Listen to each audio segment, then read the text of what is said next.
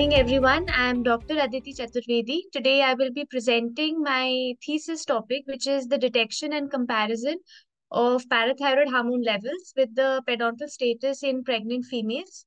Before I start my presentation, I would like to thank my parents, this presentation, this thesis, and my career, which is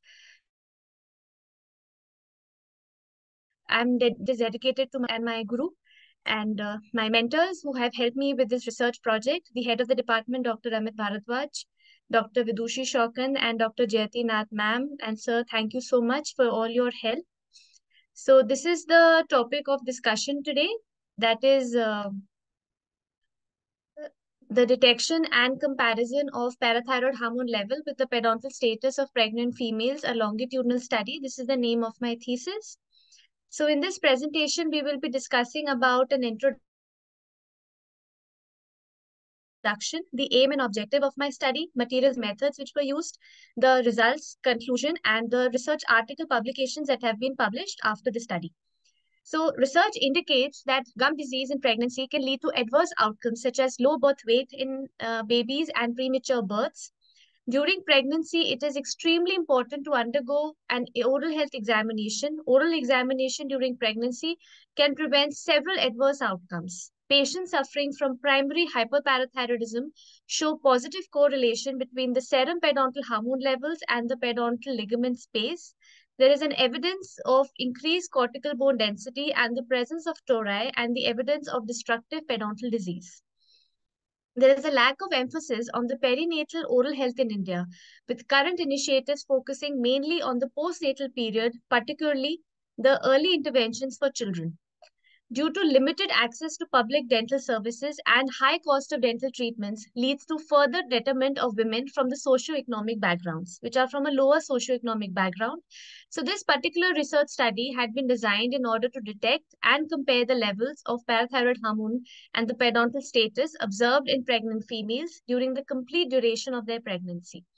There is a questionnaire which was designed in order to evaluate their oral health awareness, practices, and knowledge.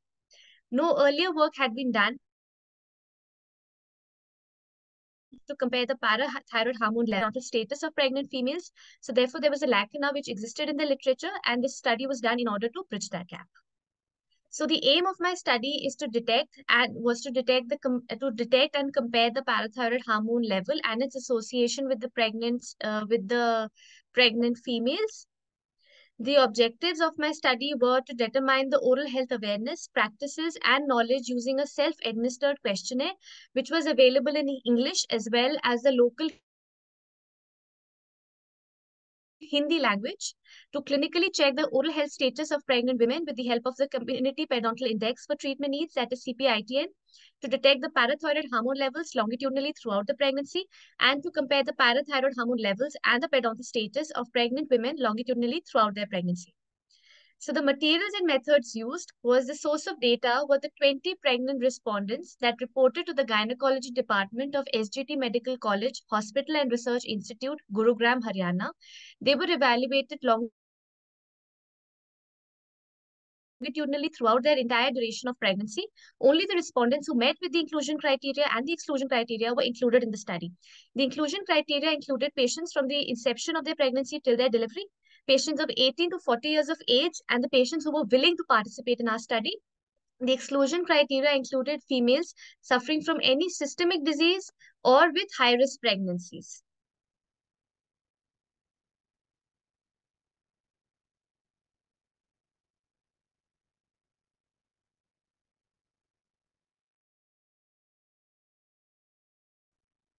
So the, the, materials that we used were gloves, a mouth mask, a mouth mirror, a CPITN probe with a WHO specification, a pair of tweezers, cotton and gauze.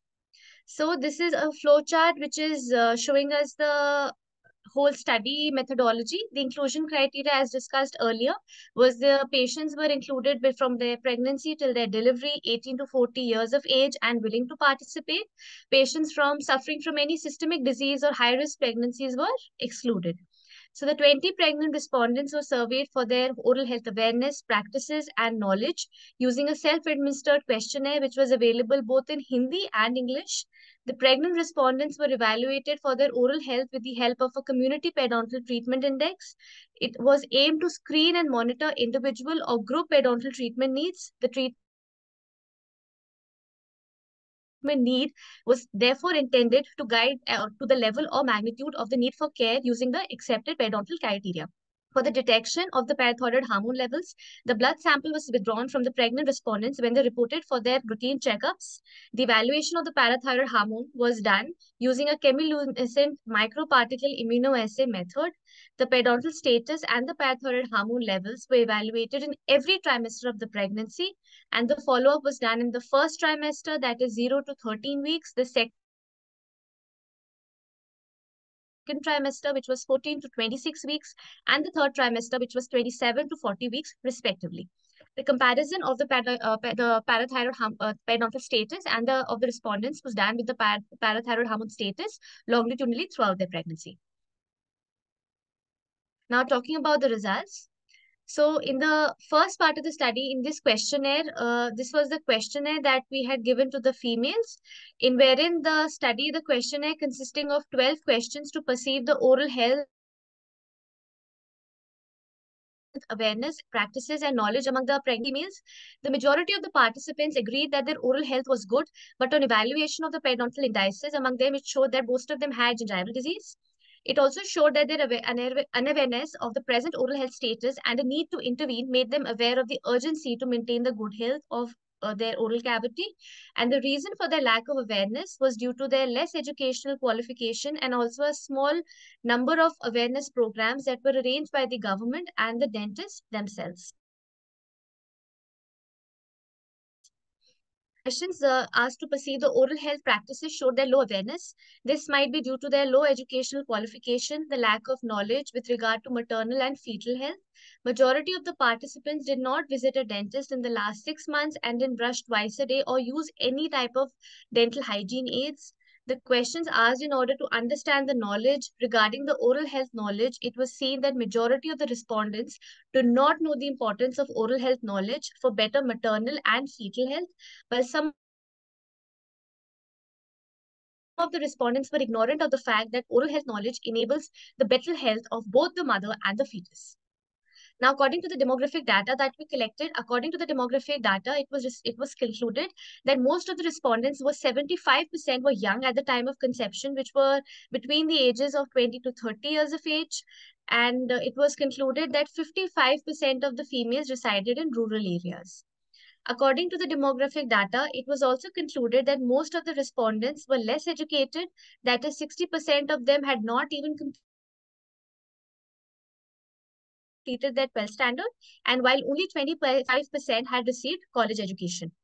Now, according to the CPITN index, we evaluated the periodontal status of pregnant females by the means of CPITN index. It was found that as the respondents progressed in their pregnancies, the periodontal findings were elevated as well as the treatment needs were increased as the trimesters progressed we detected that and according the when we come uh, we detection of the parathyroid hormone levels during the pregnancy we detected that the parathyroid hormone level longitudinally throughout the duration of the pregnancy from the inception to the delivery of the patients it was found that the PTH levels were lowered in the first trimesters, then slightly elevated in the third trimester.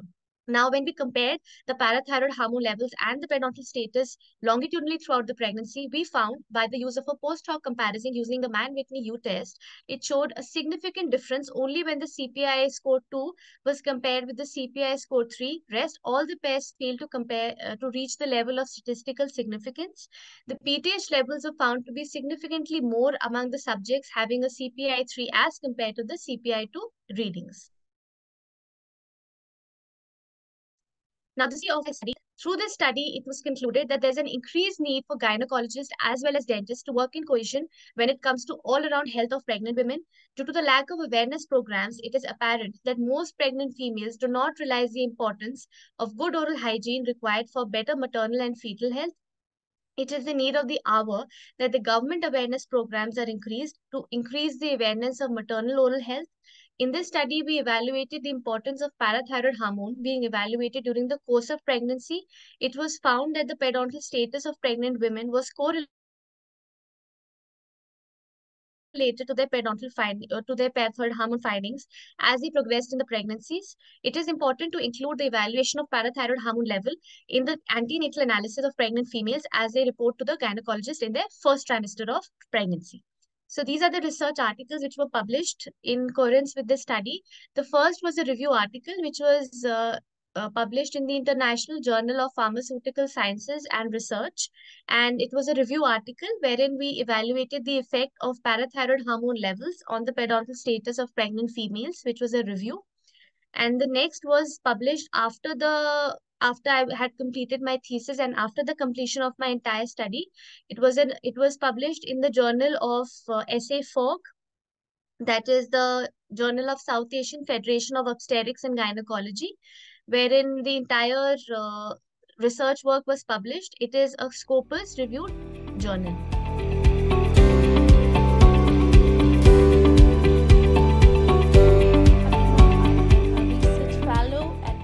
Institute of Applied Medical Research at Sydney, Australia, and I am here to present my work on the anti-cancer potential of synergistic phytochemical combinations uh, and how the genetic profile of specific cancer cell line determine the efficacy of these synergistic phytochemical combinations paving a path to precision medicine. So please join me to unravel the intricate relationship between efficacy of synergistic combinations and the unique genetic signature of these cancer cells.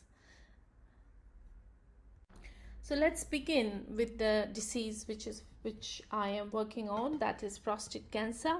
So we all know that prostate cancer is a disease in which malignant cancer cells form in the tissues of the prostate prostate gland of of man.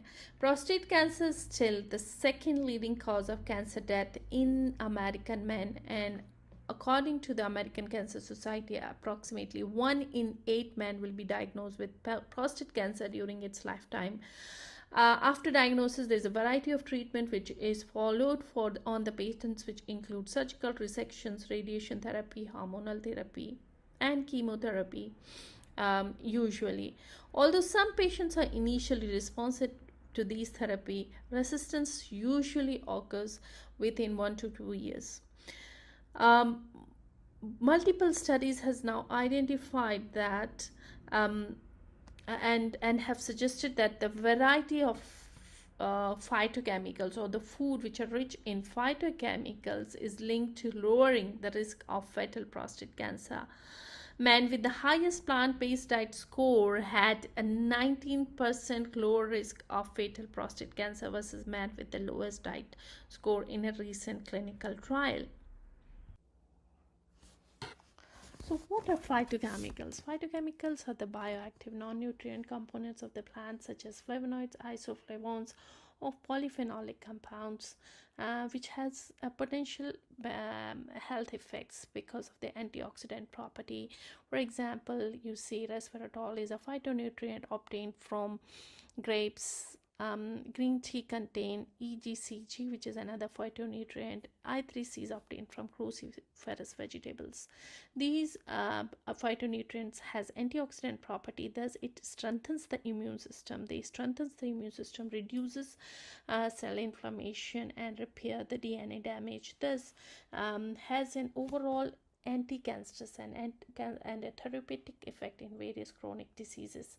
The effect of these phytochemicals has not only confirmed in the preclinical studies but also has been confirmed in the clinical trial phase 1 and phase 2 and thus these phytochemicals are shown to be promising candidates to at least maintain the cancer to stop the growth of the cancer cells.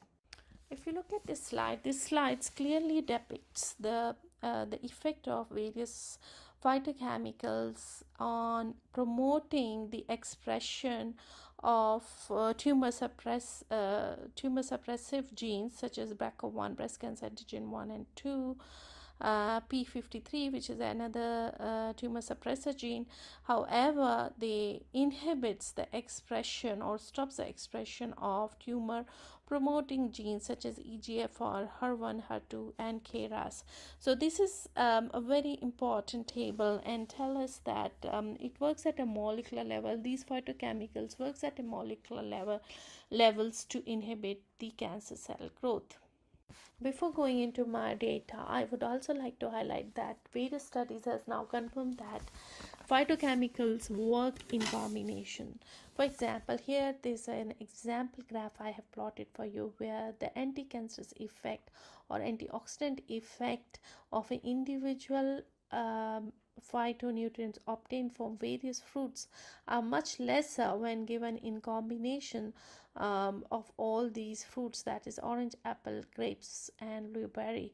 In combination these uh, phytonutrients are much more effective than what we see in as an uh, similarly, there are here are the two studies which depicts the same phenomena where uh, when lycopene is given in combination with phytoene and phytofluene, um, the anti-cancerous effect or uh, the uh, the effect by which it inhibits the cell prostate cancer cell for proliferation is much higher when these uh, phytonutrients are given alone. Another study also confirms that um, the uh, various phytonutrients, including vitamin E, when given in combination, has much higher um, and inhibition of androgenal signaling in um, prostate cancer cells. This confirms that uh, phytochemicals are not as effective individually as they are in combinations. So for our studies, a study we have used various prostate cancer cell lines, basically LNCaP cell lines, which are derived from a prostate carcinoma with androgen receptor expression, whereas PC3 and DU145 cell lines are androgen unresponsive cells. Uh, PC3 cell line is um, obtained from grade 4 carcinoma with high metastatic potential. However, DU145 is a cell line from prostate carcinoma with moderated um, metastatic potential. LNCaP cell line is um, a cell line with low metastatic potential. The selection of these cell lines was performed to allow to cover an extended range of prostate cancer with different features, namely different aggressiveness and different hormonal dependent dependency and metastatic potential. So next we have identified seven different highly potent phytochemicals based on the literature study which is commonly used um, in Mediterranean and Asian diets. And we assess the efficacy of these drugs individually on our three different prostate cancer cell lines that is LNCaP, PC3 and DU145 all these um, drugs shows showed some effect on all the three different cancer cell lines uh, but DU145 has seems to be most sensitive uh, to to to these um, phytochemicals I would also like to highlight that I3C potency seems to be similar in both DU145 and LNCaP cells but minimal in PC3 cells.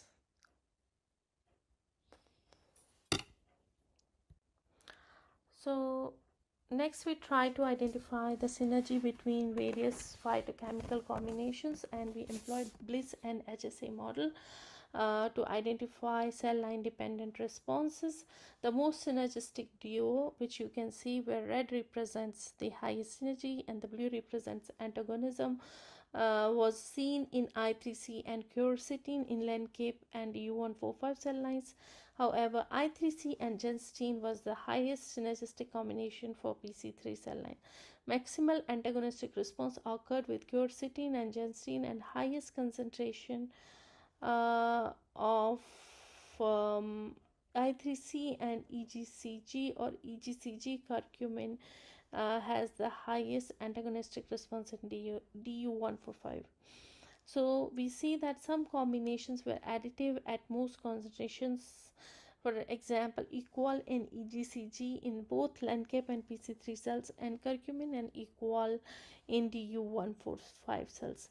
um, there is uh, what we could we know that there's a genetic difference in between these cell lines which could be the cause of the variation which we see Uh, as a combinations which are potent or which are synergistic versus antagonistics so but despite this heterogeneity all combinations show synergy in at least one model Next, we plotted the dose response for each phytochemicals with its maximal synergistic partner in each cell line.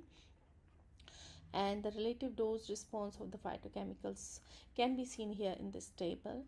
Uh, if you see these circle plots, each arrow represents a specific combination and the thickness of the plot uh, represents the, uh, the power or the uh, power of the synergistic combination. The thicker the line it is the most synergistic combination we can see in that specific cell line. So uh, the results represents that the most potent combination in LNCaP cells and in PC3 cells was IC3 and I3C and quercetin uh, however despite displaying lower synergy in um, um, in DU145 compared to I3C and quercetin. Resveratrol and equol seems to be the most potent. So the most overall, the I3C displays the most synergistic combination with other drugs including curcumin. So overall, we saw a significant variation in the potency of specific synergistic combination in three different cell lines. And we know that these cell lines are genetically different, different and obtained from uh, different individuals at different uh, cancer stages. So the only thought which comes to our mind is that the genetics uh, is responsible uh, responsible for the differences which we are observing in the efficacy of specific synergistic combinations and it is now well known that several genetic variations are able to modulate the bioavailability and metabolism of phytochemicals in humans.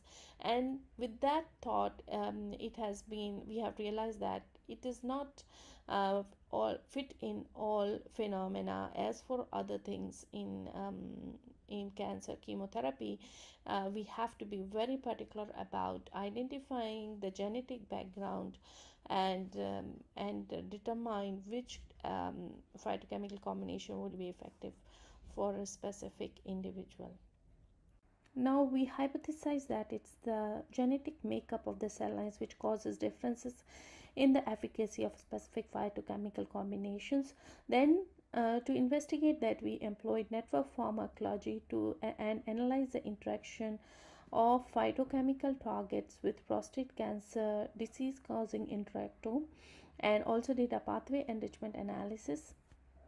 Uh, what uh, what uh, on our network pharmacology analysis what we found is that um, uh, i3c and quercetin network does not involve a direct interaction with the PTEN um, gene. So which is also found to be absent in LNCaP and PC3 cells. However, equol and um, resveratrol, which is a highly potent uh, combination for DU145 cells, had a direct uh, target of PTEN proteins, suggesting that uh, the genetic makeup or specific genes expressed in a specific cell line is causing the difference in the efficacy of a specific combination. And this is just one part of story. Uh, for uh, for to analyze the complete um, um, status of this uh, phytochemical combinations to be the, given to the drug there is a whole uh, lot of detailed analysis to be done where e the effects of every gene or or the role of every gene in uh, efficacy of um, uh, of phytochemical combinations can be determined. Uh, this is paving the path to after having a detailed analysis on the genetic differences of each cell line and their interaction of synergistic uh, combinations uh, based on the genetic makeup of the cell lines, we um, shortlisted various genes which are clearly different in between the these uh, three cell lines. Um, uh, to prove our hypothesis that it's the genetic makeup of the cell lines which causes the difference in the efficacy of these phytochemicals so we uh, if you see here in the table and i just want to highlight this position where you see there's a clear difference between the uh, presence of um, PTEN eph uh, B2-like proteins, which are tumor suppressor proteins, which are absent in LNCaP and PC3 but are expressed in the U145 cell line. Next, Next, we try to hypothesize uh, that it's the presence of PTEN or the genetic makeup of these cell lines which is ca causing or the lead cause of the difference in the potency of specific phytochemical combinations. So to prove that we have uh, we planned a PTEN knockout knockdown experiments. First of all, I would like to remind you that PC3 cells is a PTEN null cell and in this um, cell type we found I3C and resveratrol has the highest potency whereas DU145 cell lines which are PTEN positive cell lines in this resveratrol and equol uh, combination showed the high uh, the the highest potency whereas I3C and quercetin is uh, showed very poor potency um, or the killing of cancer cells. So we now know that DU145 are PTEN positive cells and equol and resveratrol were the highest potent uh, uh, phytochemical combinations which can uh, kill these cells. So what we did is we used siRNA to inhibit the expression of PTEN genes in um, DU145 cells and to our surprise what we found is that um, uh, by reducing PTEN expression in these cells cell types the efficacy of equol and resveratrol decreases significantly at all different concentration we tested. However uh, there is no change in the potency of IC3 and quercetin uh, when you reduce the expression of PTEN siRNA, which suggests that the potency of, uh, of I3C and um, quercetin does not depend on the expression of PTEN but the, the, the efficacy or the potency of equol and resveratrol do depends on the presence of PTEN expression. Uh, and that's that's clearly um, resonates with our hypothesis that it's the expression of specific genes or the genetic difference which are observed in these cell types are causing the variation in the potency of these um, phytochemical combinations. And this is a great step as it so for summary to summarize our study has identified the patterns of synergy that are dependent on tumor cell genotype and but are independent of androgen signaling. Uh, uh, or being very specific what we have identified the effect of PTEN expression on um, the efficacy of a specific phytochemical combination. So you, in this figure, you see that there's a DU145 cells which is labeled as blue and a LNCaP cell or a PC3 cell which are labeled as orange. And the maximum synergistic combination I3C and quercetin has its direct target in the uh, prostate cancer causing intractome.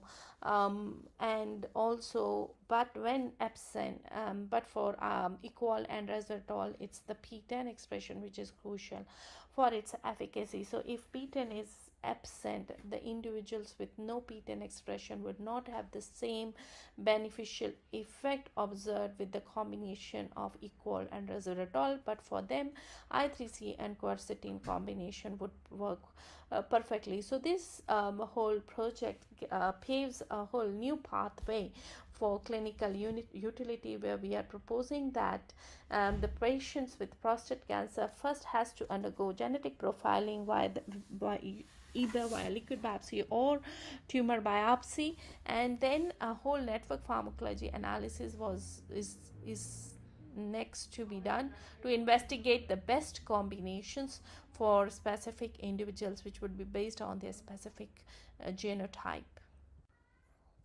As it is um, um, paving a path to precision medicine approach uh, which we normally see in our classical chemotherapy, where each individual does not have the same effect or the same beneficial effect for any chemotherapy.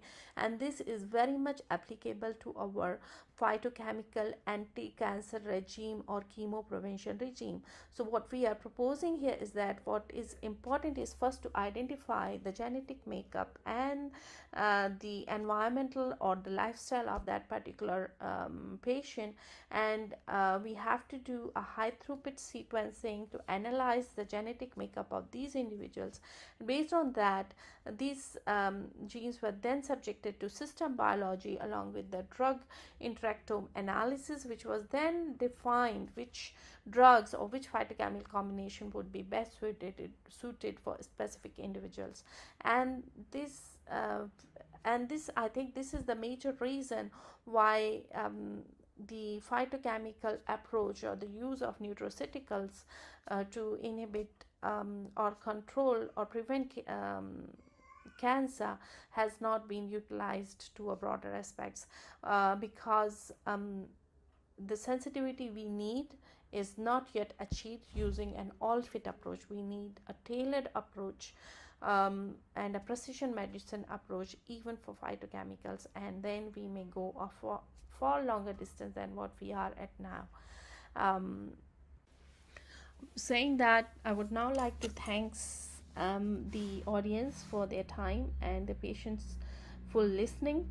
Um, and uh, also would like to thanks uh, extend my thanks to the organizer who has invited me to present my work at this conference.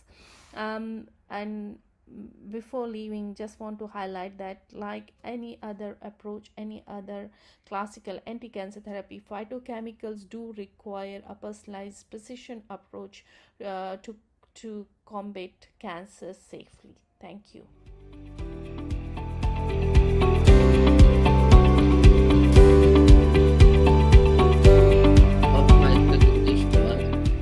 determination of pre-harvest interval for lambda cyhalothrin, deltamethrin, and phenylballarotrin conventional vegetables of Bangladesh. The introduction of, uh, I'd like to say uh, some few words about this. We all know that vegetables are very important for nutritional, financial, and food security in the country, these vegetables are attacked by a variety of insects. The farmers may have the option to use some IPM technologies like indigenous plant extract, biological pesticides, and biopesticides instead of toxic chemicals. But it is not uh, now uh, because this technology is not sustainable at all. Due to the scarcity of competent pesticide alternatives and enough knowledge of safe pest management, in Bangladesh, the farmers mostly depend on chemical pesticides, pesticide to protect their crops from pest infestation. It was understood from a uh, study that the farmers mostly use insecticide irrationally and whimsically a considerable number of farmers sell vegetables immediately after spray or at an interval of one or two days after spray. Pesticide residue hamper microbial activities in soil, destroy aquatic leaves and non-target invertebrate, and cause damage to higher vertebrate also. We know that pesticides create several adverse effects on human health and the environment. There is a link between pesticide exposure and the incidence of human chronic disease affecting nervous reproductive system, renal, cardiovascular, and respiratory system also. And sometimes it may occur teratogenesis, ulcer, cancer, etc. With the justification of the experiment, pesticides are not used by the farmers following good agricultural practices. The farmers are using pesticide indiscriminately and they harvested the treated crops without maintaining the pre-harvest interval. It was reported that only 3% eggplant farmers practice pre-harvest interval at a safe level, whereas 97% eggplant farmers fall into safe, unsafe categories. As a result, the residues of pesticides may remain in the harvested vegetables. The aim of the study is uh, that to ensure safe food to the consumers. Now, what is PSI? PSI is defined as the number of days required to lapse between the date of pesticide application and crop harvest. The PSI differs from pesticide to pesticide and crop to crop also. So we have to determine the pre-harvest interval on, on the consideration of our environmental condition. Food products become safe for consumption only after pre-harvest interval or window period has lapsed. The PSI differs from pesticide to pesticide and crop to crop also. So we have to reset the PSI on the consideration of our environmental condition. With this view, uh, we design our experiments. The main objective of this experiment was to determine the pre-harvest interval, that is waiting period, for lambda cyhalothrin, deltamethrin, cypermethrin, and fenvalerate in eggplant hyacinth bean, and cauliflower. These are the methodology. The purity of formulated insecticide were tested in the pesticide analytical laboratory. This is an accredited laboratory, ISO IC 2017. 100% pure brand were selected for the determination of pre-harvest interval. Pure brand of uh, selected pesticides were sprayed at different supervised trials, five different supervised trials. Sprays are made with recommended dose by left square to the point of runoff. Samples of, eggplant, hyacinth bean, and cauliflower are collected at 0 to 11 days after spray. This is the pictorial view of sample collection and uh, insecticide spray on the field. This is the pictorial presentation of uh, sample cleanup and injection in GC. I'm not going in detail on it. This is our laboratory. This is a flow diagram of uh, sample uh, cleanup. Normally, we uh, followed uh, QuEChERS method. We all know that quick, easy, cheap, effective target and safe method. This method is modified uh, by Pradhan et al. Uh, we follow this method. Following this method, we clean up our samples. Now, this is the instrument parameter of pyrethroid pesticides. We use equipment GC 2010 G2 electron capture detector. Capillary column was RTXL pesticide 2. Makeup gas and carrier gas was nitrogen. Injection port temperature was 2080 degrees centigrade.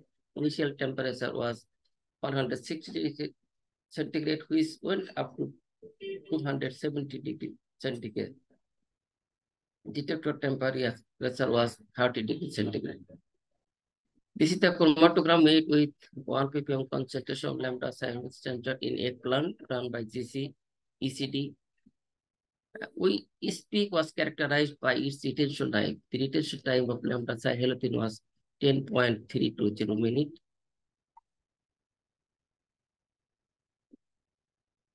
During the study, recovery tests were conducted with the 45 samples of hyacinth with cauliflower and eggplant.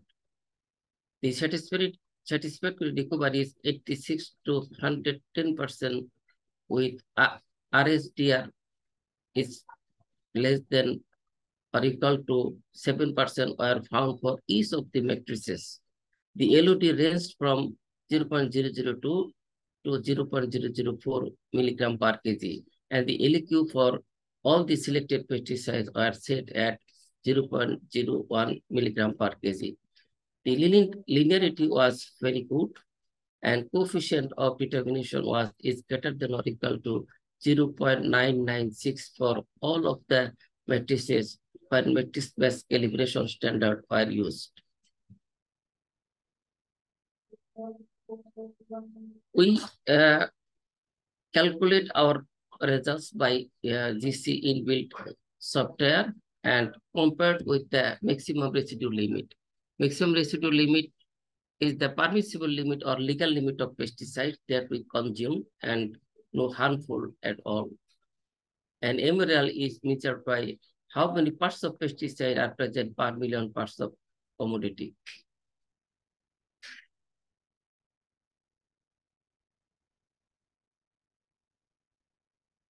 First table, uh, uh, table, sorry, pesticide residue detected from eggplant. Uh, first column shows the days after sowing and the fourth column shows the detected uh, residue. The residue of eggplant uh, detected up to nine days and the quantities are above MRL up to seven days. So the PSI can be selected at eight days. Here you see the EU MRL was uh, 0.3 uh, milligram per kg. And uh, in case of uh, seven days after spray, it was 3.17 milligram per kg. So the PSI will be next following days. That means eight days after spray will be safe for eggplant. Uh, cauliflower, the detected residue, uh, the uh, residue of cypermethrin in cauliflower mute হয়ে গেছে estimated from cauliflower the first column shows the days after uh, spraying and the fourth column shows the detected residue of cypermethrin in in cauliflower uh, the cypermethrin uh, uh, residue detected up to 7 days and the quantities are above MRL up to 4 days so the uh, can be selected at five days after spray. Table 4 level of pesticide of fenvalerate estimated from hyacinth and cauliflower. First column shows the days after spraying and the second column shows the residue level uh, of uh, residue level of fenvalerate in hyacinth bean which detected up to 10 days after spray. And the quantities are above MRL up to 8 days. So the PSI can be selected at 10 days after spray. In, but in case of cauliflower, the detected residue are also 10 days after spray and the uh, quantities are above MRL up to 9 days after spray. So the PSI can be selected at uh, 10 days after spray.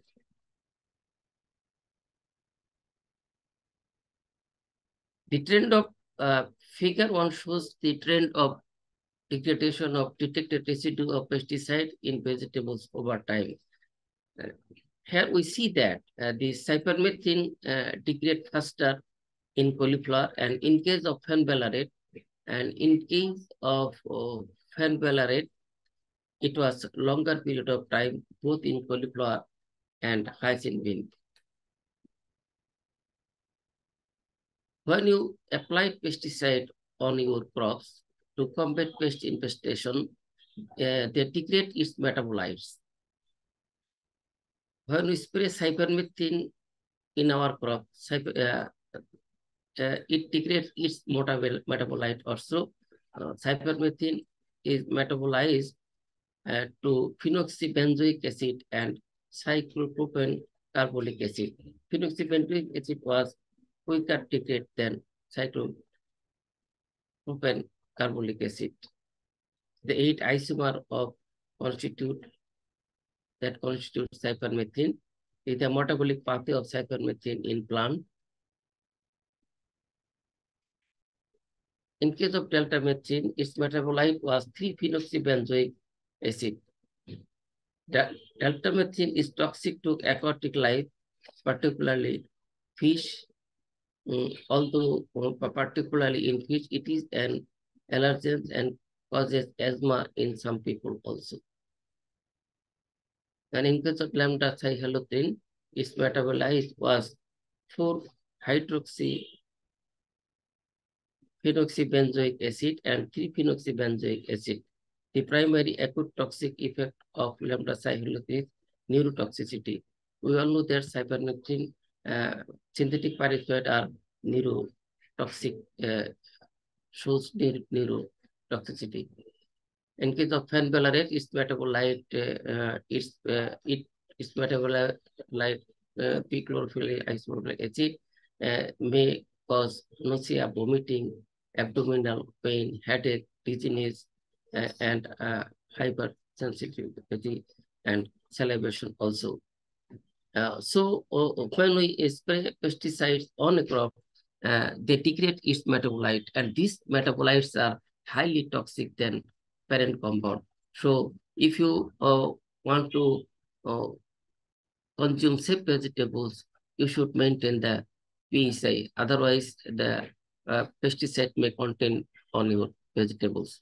The presence of pesticide residue above the MRL in food commodity might be harmful to human. Uh, it is, if it is exceeded, acceptable daily intake of adults and babies also.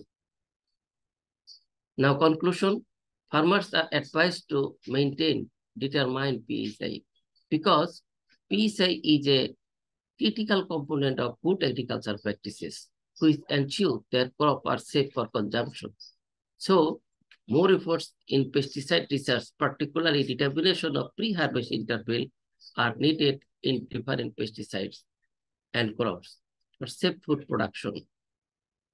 The findings of the present study will provide a good indication for the farmers, policy planners, and other relevant stakeholders to take necessary action to ensure safe food production for the consumers. This is the reference. Uh, I put uh, some of the reference here. I am not going uh, in detail. Uh, this is all over my presentation. Thanks for patience hearing. Thank you so much,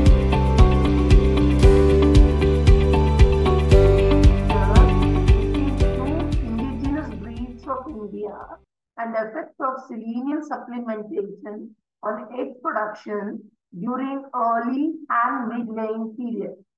So myself, Dr. N. Anand Lakshmi, I'm principal scientist. I'm working at Directorate of Poultry Research, Rajendra Nagar, Hyderabad. So this is our institute. And now the breeds on which I'm going to speak is on Ghagus and Nicobar. These two are native breeds of India. So Ghagus breed is mainly again, this is found in Kolar district and adjoining locations of Karnataka and Andhra Pradesh. Annual egg production is 45 to 60 and the birds are maintained largely for eggs and are also being reared in backyard farming system. Now the Nicobari, this is a bird native to Nicobar Island and it is brownish matte in color. Annual egg production varies from 180 to 200. So this is high egg producing and this is low egg producing bird. Native birds. The birds are maintained largely for eggs they are also reared under farm and field conditions. Now, the two hormones on which I am going to speak are melatonin and ghrelin. This green part is ghrelin, which is 28 amino acids in length. Now, what is the function of melatonin? It improves feed efficiency, promotes growth, promotes elevated cellular and humoral immune responses, enhances the intestinal absorption of amino acids, increases egg weight and egg laying rate, increases intestinal mucosal renewal. It is present in egg yolk and albumin, and its level in mucosa, that is intestine, exceeds than that present in the blood. So what is being excreted from the GI tract, that is gastrointestinal tract, is independent of pineal gland and this is secreted during daylight, which is independent of photoperiod. So I have used the levels of melatonin, which is being, being secreted during daylight. Increase the activity of antioxidant in the jejunum and downregulates the expression of gonadotropin inhibitory hormone receptor in the ovary. Now coming to the functions of ghrelin, it's an ant-orexigenic gut-derived peptide in chicken. It is implicated in supporting reproductive function at hypothalamo-pituitary gonadal axis. High and low levels of ghrelin appear to be detrimental for fertility. It is able to reduce plasma progesterone levels and is able to influence chicken ovarian steroid hormones, that is estrogen and progesterone.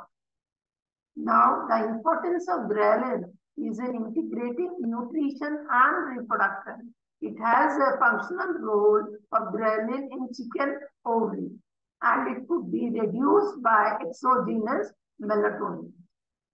Now, the benefits of organic selenium in animal or poultry diet, it is able to maintain immunocompetence, production, reproductive performance.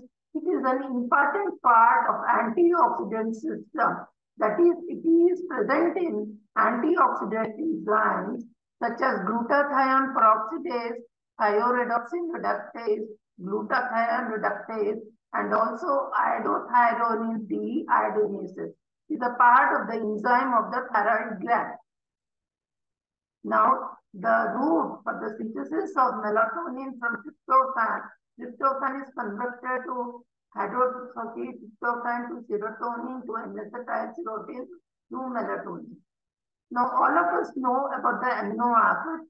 There are amino acid transporters which are transported across the plasma membrane into the cell where it can be used for protein synthesis and cellular process or it can get metabolized and secreted outside. Now the objectives for my uh, project, it was a small, it is a small portion of my project. So the objectives for this experiment were to estimate melatonin and ghrelin in plasma and their receptor expression in jejunum. Jejunum is a portion of the digestive tract and magnum is a portion of the uh, reproductive tract where the albumin is being synthesized of native breeds, Ghagus and Nicobari during early and peak laying period to study relationship between level of hormones, amino acids, expression of amino acid transporters and differential egg production at two different phases of laying period. The third was to observe the effect of supplementation of organic selenium in modulation of different parameters mentioned. Now the methodology was a 100 number each of 24 week old Ghagus or Nicobari were taken and it, the study was conducted in two different phases. That is early laying period, that is 24 to 28 weeks, and mid-laying period is 32 to 36 weeks of age. The control group was given basal feed with maize and soya bean, and it was not supplemented with organic selenium, whereas treatment group was supplemented with organic product, that is selenium enriched yeast at the rate of 0.2 ppm. Blood samples were collected at weekly intervals and body weight was recorded at 14-day intervals. Now the studies were conducted on hormones, amino acids, and gene expression studies were conducted. The birds were sacrificed at 26 and 34 weeks of age for collection of jejunum and magnum tissues. Hormones melatonin, ghrelin, estradiol, and progesterone were estimated by EIA, that is enzyme immunoassay, and estimation of amino acids in plasma and magnum tissues was done by liquid chromatography mass spectrometry, that is by LCMS method. Quantification of gene expression of melatonin ghrelin receptors and amino acid transporters in these tissues was conducted by using SYBR Green for quantitative PCR method or real-time PCR method. Now coming to the results, we had seen that in Ghagus, this is the control group and this is the treatment group. In the control group, during the early laying period, it was approximately 300 uh, picograms per ml. But whereas during the mid-laying period, it was 200 picograms. So during the MP period, the concentration was low. And by providing selenium, we, could see that when it was low, it stimulated the levels of the hormone during mid-laying period. But whereas in ovary, the melatonin levels were more during the were less during the EP period, that was about 75 when you take the average levels, whereas during the MP period, it was 150, it was greater. So when the concentrations were less, the selenium supplementation could uh, stimulate or increase the levels of this melatonin during the early laying period. Now, when we compare between the control groups of Ghagus and Nicobari, it was always seen that the levels of these hormones were low in Nicobari breed compared to the Ghagus. But what is the reason? That is in it is a low producing one and Nicobari is a high producing bird. So you see the consumption of melatonin was more in the Nicobari compared to the Ghagus. So the levels were found to be less in Nicobari compared to the Ghagus. Now coming to the ghrelin hormone, we saw that this was quite different from melatonin, that it, it increased, it increased in the age and it was more during the MP period. The, if you take the average, it is more during the MP period compared to the EP period. So you see when the levels were low during the EP period, by supplementation of selenium, it increased the levels of uh, ghrelin. Now coming to the Nicobari, the similar trend was found and it was found that it was slightly lower in the EP period and higher during the MP period. But and the it could stimulate ghrelin during MP period in the Nicobari bird. Now we compared between the controls of Ghagus and Nicobari. It was not significantly different for this hormone. Now coming to the estradiol, we, uh, it was seen that again in the Ghagus, in the control group, during the early period, it was high, whereas during MP period, it was low. But the effect of selenium was not significantly different either at early or mid period. Similar effect was seen in Nicobari. In, whereas in Nicobari, the concentration was less during early period and it was high during MP period, but the effect of selenium was not seen on estradiol. Now, when we compare between the two uh, breeds, the concentration of estradiol was significantly less during the early period in Nicobari compared to the Ghagus, whereas during the MP period, it was more compared to the Ghagus. This is because at the MP period, the uh, egg production is significantly high in Nicobari. That is, it is 80%, and whereas in Ghagus, it is 50%, which I'll be showing in subsequent slides. Now coming to the progesterone, again it was high in Ghagus during EP and it is less during MP. The effect of selenium was quite different as with respect to other hormones that it decreased the concentration of progesterone on, on uh, supplementation of selenium.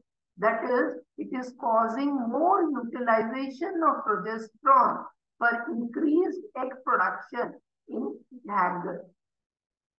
Now coming to the Nicobari again, during EP period, it was more and during MP period, it was significantly less. And the effect was more during EP period, the effect of selenium by decreasing the levels of progesterone, showing that it is making the consumption of progesterone more in this Nicobari bird during EP. Now, when we compared between the control groups, it was observed that the progesterone levels were less in Nicobari breed compared to the Ghagus.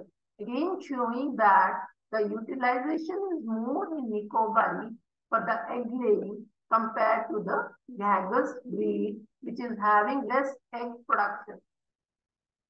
Now, this is the pictorial representation with the values given here of whatever I had submitted.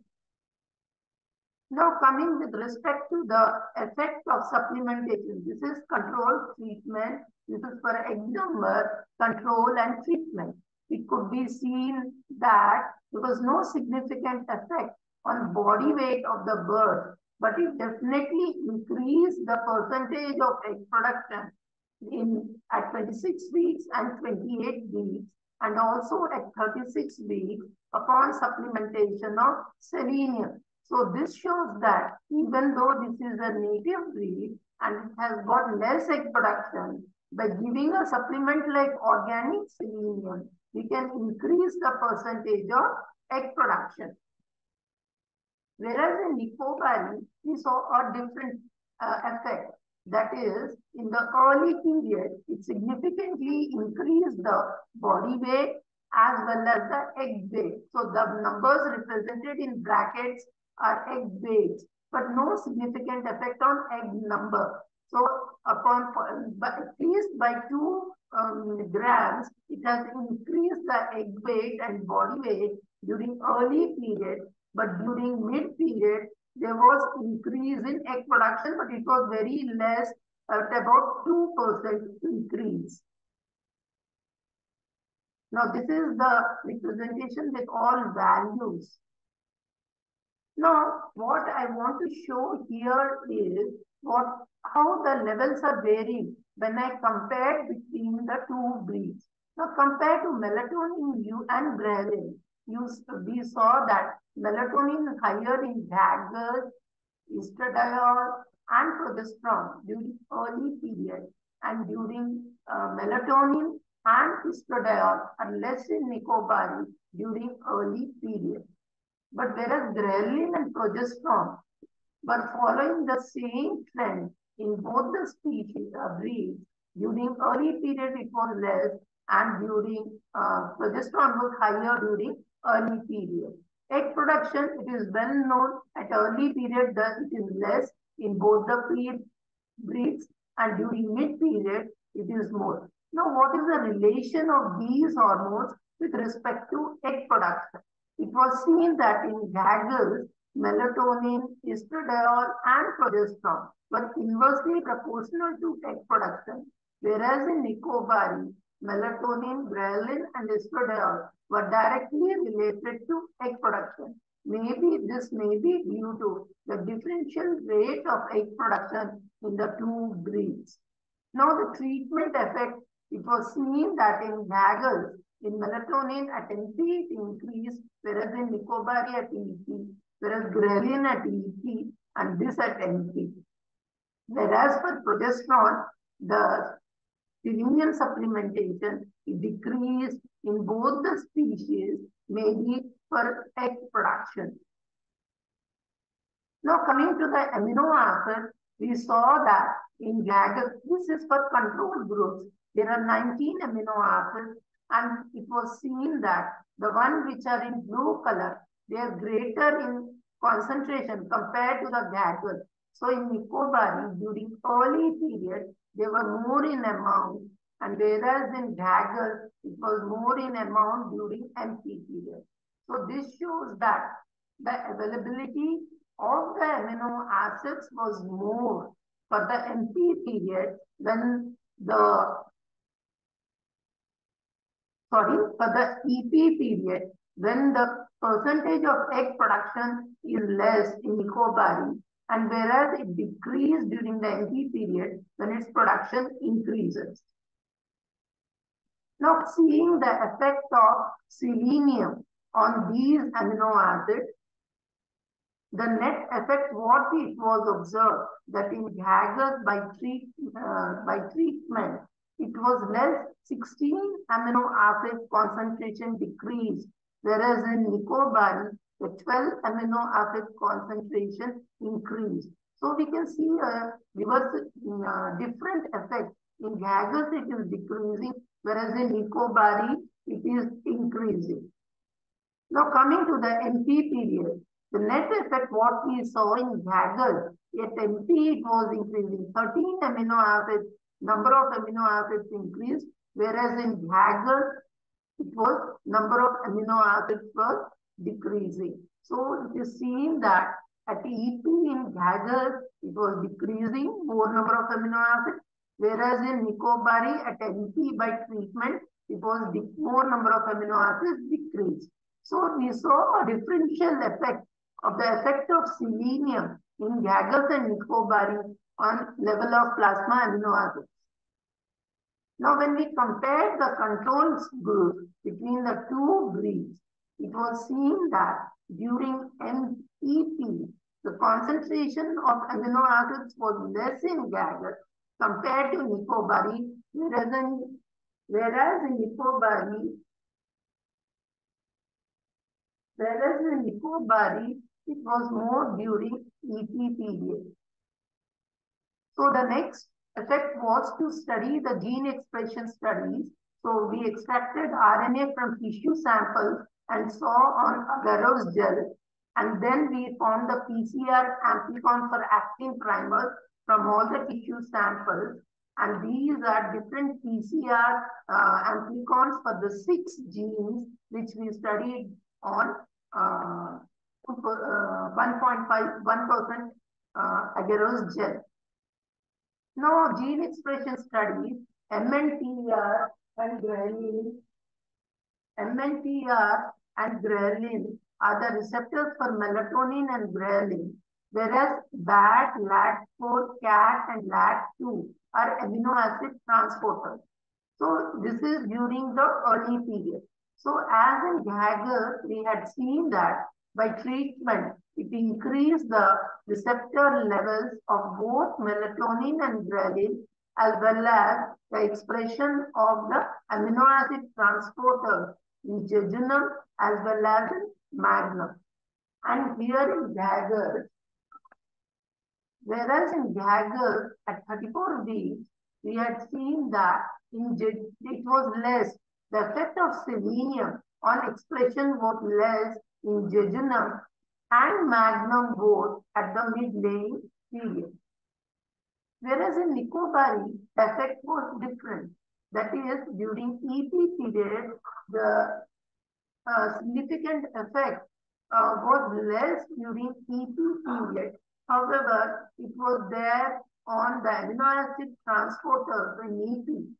But whereas we had seen more number of amino acid transporters as well as receptors for hormones was more during MP period in Nicobarese breed in jejunum and magnum at the uh, MP period. Now the effect of selenium treatment, it was seen, it was seen that there was upregulation of magnum amino acid transporters, which was directly proportional to egg production in both the breeds jejunum and magnum amino acid transporter expression was inversely related to the concentration of number of plasma amino acids. This shows that in the um, organism, uh, homeostasis was maintained. Now, this is the representation of the graph for what all I had shown in the tabular form. Now, coming to the summary, concentration of melatonin, estradiol, progesterone at EP, they were greater than MP in Ghagus and it was reversed with hormone ghrelin.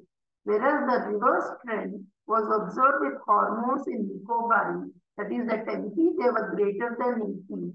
Only progesterone was greater at EP compared to MP. Supplementation of selenium increased melatonin during in Ghagus whereas in Nicobarese during EP. Effect on levels of ghrelin was reversed. Supplementation did not have any effect on the levels of estradiol in both Ghagus and Nicobarese at either EP or MP. In Ghagus, it decreased levels of progesterone at both EP and MP, whereas in Nicobarese only during EP. When compared between the control groups, the availability of plasma amino acids was less during MP compared to EP in both Ghagus and Nicobar. Upon treatment, concentration decreased in Ghagus and increased in Nicobar at EP. The reverse was observed during MP. In Ghagus, fold change expression of more number of amino acid transporters was higher in jejunum and magnum upon treatment during EP compared to MP, whereas the results were reversed in Nicobar. Now compared, coming to the conclusions, there were many factors or physiological parameters which were reversed when compared between the two groups. When concentration was hormone was higher, treatment reduced the concentration and vice versa during EP or MP. But effect of treatment was reversed with respect to concentration of amino acids. The fold change expression of receptor or amino acid transporter was inversely proportional to the concentration of hormones upon treatment, maintaining homeostasis of the levels of hormones or amino acids. The selenium treatment. So in the nutshell, we can say in the end, the selenium treatment modulated all the physiological parameters conducively, resulting in increase in production performance. Thank you.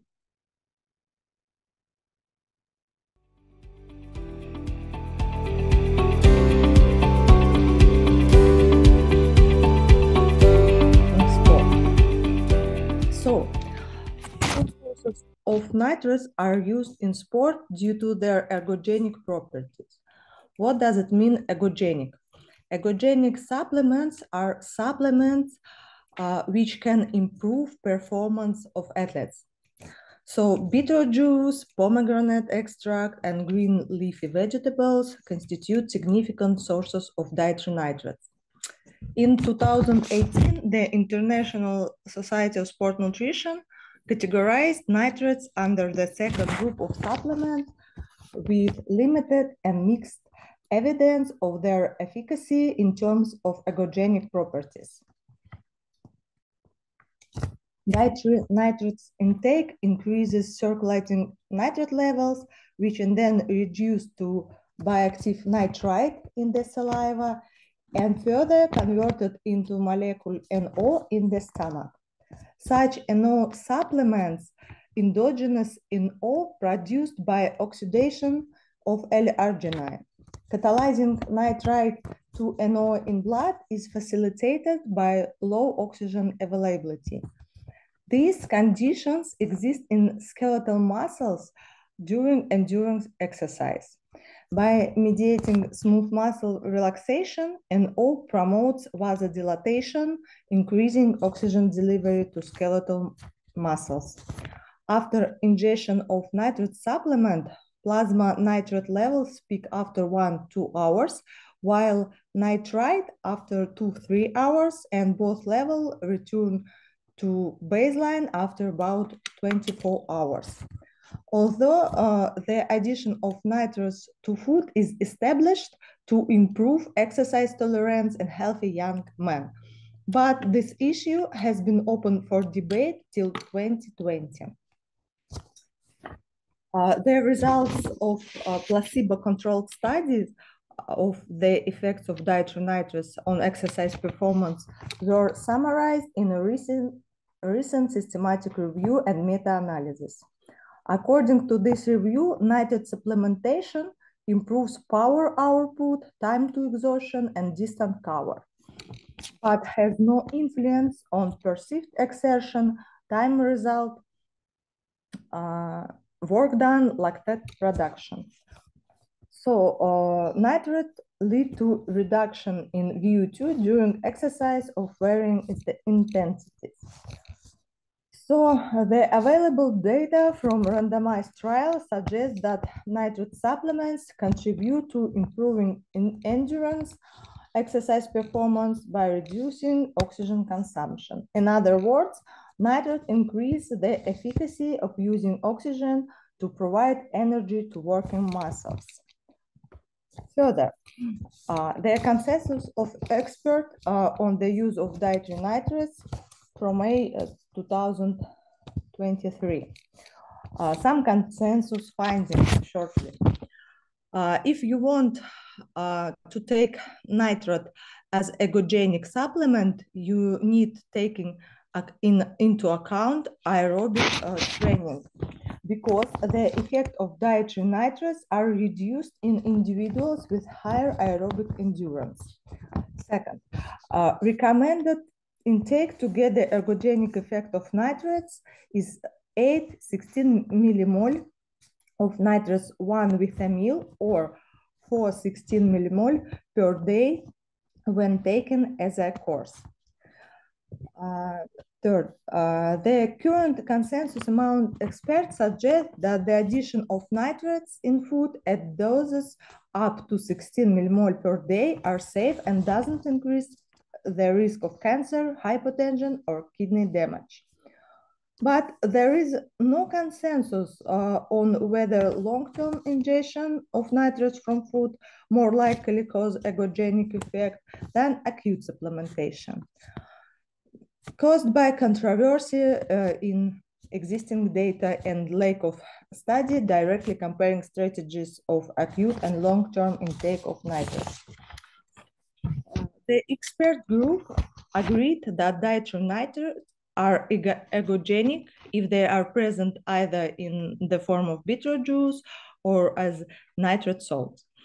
The group of experts uh, agreed that there was no ev evidence of harmful effect from consuming dietary nitrates together with nitrate-rich food or juices. And the last one, the expert group agreed that both acute and long-term intake of food supplements with nitrates doesn't violate the spirit of sports and doesn't provide unfair advantage to those who use them. The aim of our study was to evaluate the effect of long-term intake of nitrates in the form of beetroot juice-based dietary supplement on cardiorespiratory endurance of biathletes in a training camp. Our prospective, randomized, and controlled uh, research was conducted during the summer training camp. Uh, the athletes were divided randomly into two groups, an experimental group receiving a food supplement with nitrates and comparison group receiving a placebo. Placebo was a water with food coloring. The study involved 40 male biathletes, 20 individuals in the experimental group, and 20 individuals in the comparison group. While uh, with um, level of sport training ranging from candidate master of sport to master of sport.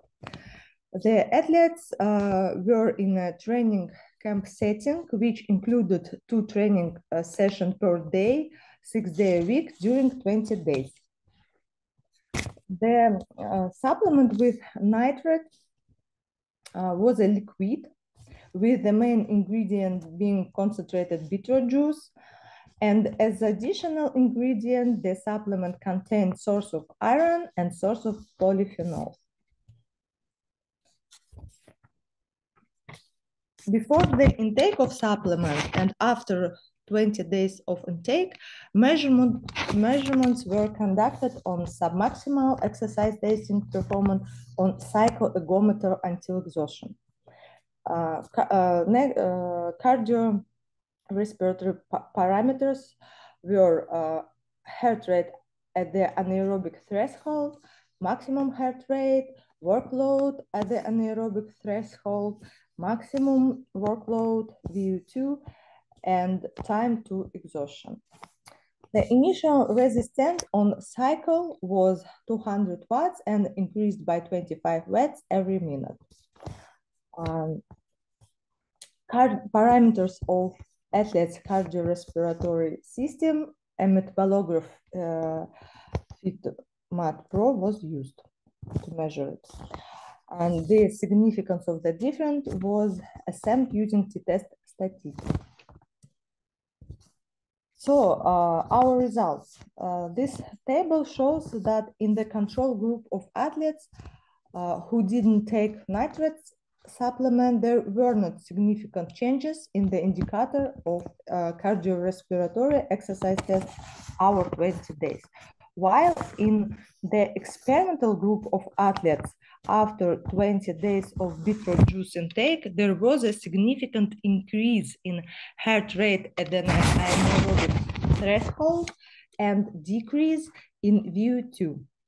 These changes indicate indicate a decrease in oxygen consumption per kilogram of body mass, which shows an increase in muscle work efficacy. So uh, our summary. Thus, we have got results similar to the ones of previous study of the influence of beetroot juice as a source of dietary nitrates on physical performance. The intake of dietary nitrates increase athletes' endurance by reduction in oxygen consumption and their achievement of the maximum aerobic power output at higher heart rate values during load testing until exhaustion. It's important to note uh, that our findings demonstrate the presence of an ergogenic effect of beetroot juice during 20-day course of intake, even when the product is consumed immediately after exercise, rather than just, a few hours before as described in most previous studies. And the addition of iron to beet beetroot juice leads to increase of, of physiological effect of nitrates even at a concentration lower than that described in the literature for uh, per day. Thus, it can be assumed uh, that there is a synergistic action of uh, nitrates and iron supplements on athlete endurance. Thank you for your attention. I'm glad to be part of this conference.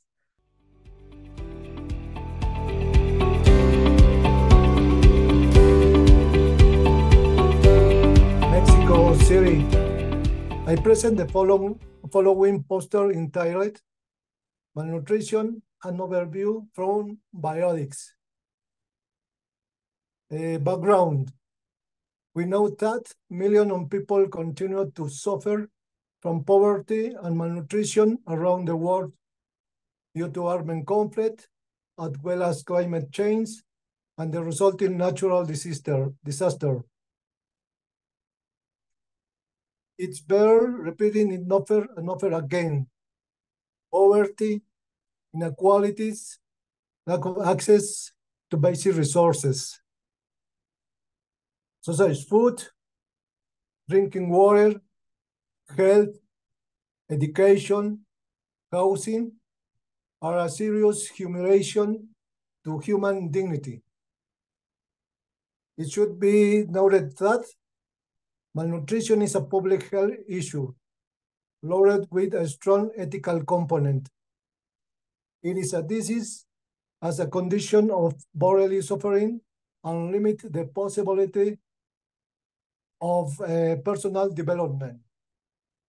Uh, besides, malnutrition is one of the world's most serious but least addressed development challenges. Its human and economic costs are enormous, falling harder on the poor, women, and children.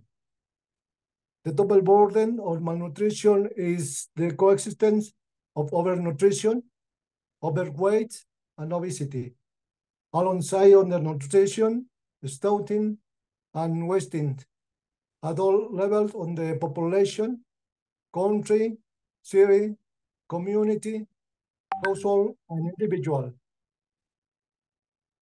According to the National Commission of Bioethics, bioethics is not only is as a discipline, but also its principle and, and component, components are immediately linked with the generation and the application on the science. In other words, it is considered an important component to contribute to the well-being and integrity of the human being and this and his environment. It is the branch of applied ethics that reflects, deliberates, and makes regu regulatory approaches and not public politic to regulate and to solve conflict concerning social life. In particular, in the practice and medical research that affect life in the planet. Uh, aim. The objective is this theoretically based ESA is, is to provide an over, overview of the res, relationship between bioethics, human malnutrition, and its consequences. Uh, the Mexican National Health and Nutrition Survey is a probabilistic household level survey which assigned to each Mexican household uh, now value measures to zero as probability of, of selection. A method, descriptive docu documental study. The Mexican National Health and Nutrition Survey was designed to obtain information on the health and nutrition status of, of the Mexican population based on a nationally representative sample. Uh, results. It is important to mention that the prevalence of overweight and obesity has increased worldwide in the last three decades, affecting two or every three adults. In Mexico, this has been documented that in the last two decades, some of the comorbidities associated with obesity contribute to a larger percentage of mortality, disability, and premature death in the population. Due to this, obesity is currently considered one of the main public health problems in the country. Uh, figure two shows the prevalence of, of overweight and obesity in men aged 20 to 49 years old it is observed that the prevalence of overweight and obesity was 41.3% and 19.4% in the years 2000 respectively. A gradual but sustained increase was recorded until 2020. Uh, to, re to remember that obesity is a disease that causes functional impairment and reduced quality of life, serious disease, and more early deaths. Uh, figure three shows the trend of overweight obesity in women during the period from 1988 to 2020 in Mexico. In this period, the prevalence of obesity increased from 9.5% in 1988 to 37.6% in 2020. Regarding overweight, the growth was notable from 1988, 25%, to 1999, 36%. Since then, has remained uh, without significant change until 2020. Studies have shown that obesity increases the risk of many chronic disorders, in, including, including cardiovascular disease, hypertension, diabetes, and even several cancer types. In addition, a growing body of research has revealed that obese women are at a high risk for reproductive health. It's that maternal obesity increases the prevalence on future metabolic dysfunction and malformation in the offspring. Uh, figure uh, four, four um, for the trends of overweight, overweight, pardon, over uh, obesity prevalences among children from 5 to 11 years old. Notably, we observed that a decrease in overweight was reported throughout the survey years. At the expense of increases in obesity, where today uh, these two outcomes show similar behavior. The overweight obesity is school-age children is a continued problem with serious repercussion on the future. Uh, despite current of the a variety of individual and global level public policy action uh, for the containment, prevention, and control of, of this condition, the structural factor exists, uh, which require early action, a significant investment. These actions are needed in order to modify and contract a healthy and sustainable diet the children. Uh, figure five, over the past few decades, several upper and middle income countries, Mexico included, has experienced significant epidemiological changes. Concurrently, eating patterns, nutritional status, and this is burden of the population and have been radically modified. Rapid urbanization, demographic changes, uh, the modification of the dietary patterns and lifestyles are factors closely related to the nutritional transition and the double burden of malnutrition. Uh, given the rising rates of overnutrition and non communicable disease, in conjunction with the current prevalence of undernutrition in Mexico. Traditional approaches may not effectively address this health burden. Uh, taking a life course approach allows for the early uh, identification of risk to allow for the, the, the development of nutrition and lifestyle intervention that can prevent disease.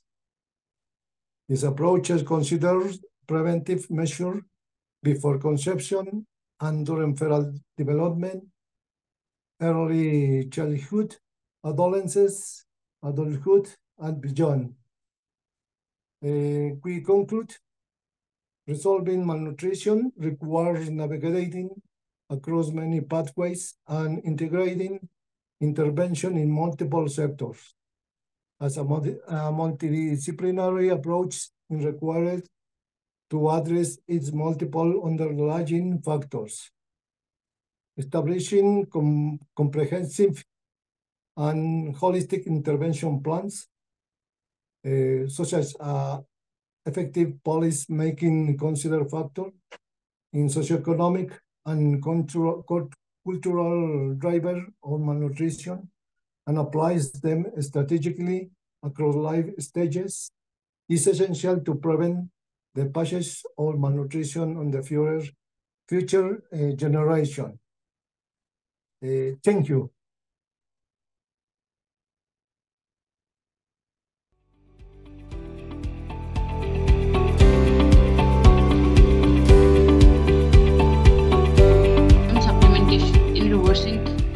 Diabetes. Next.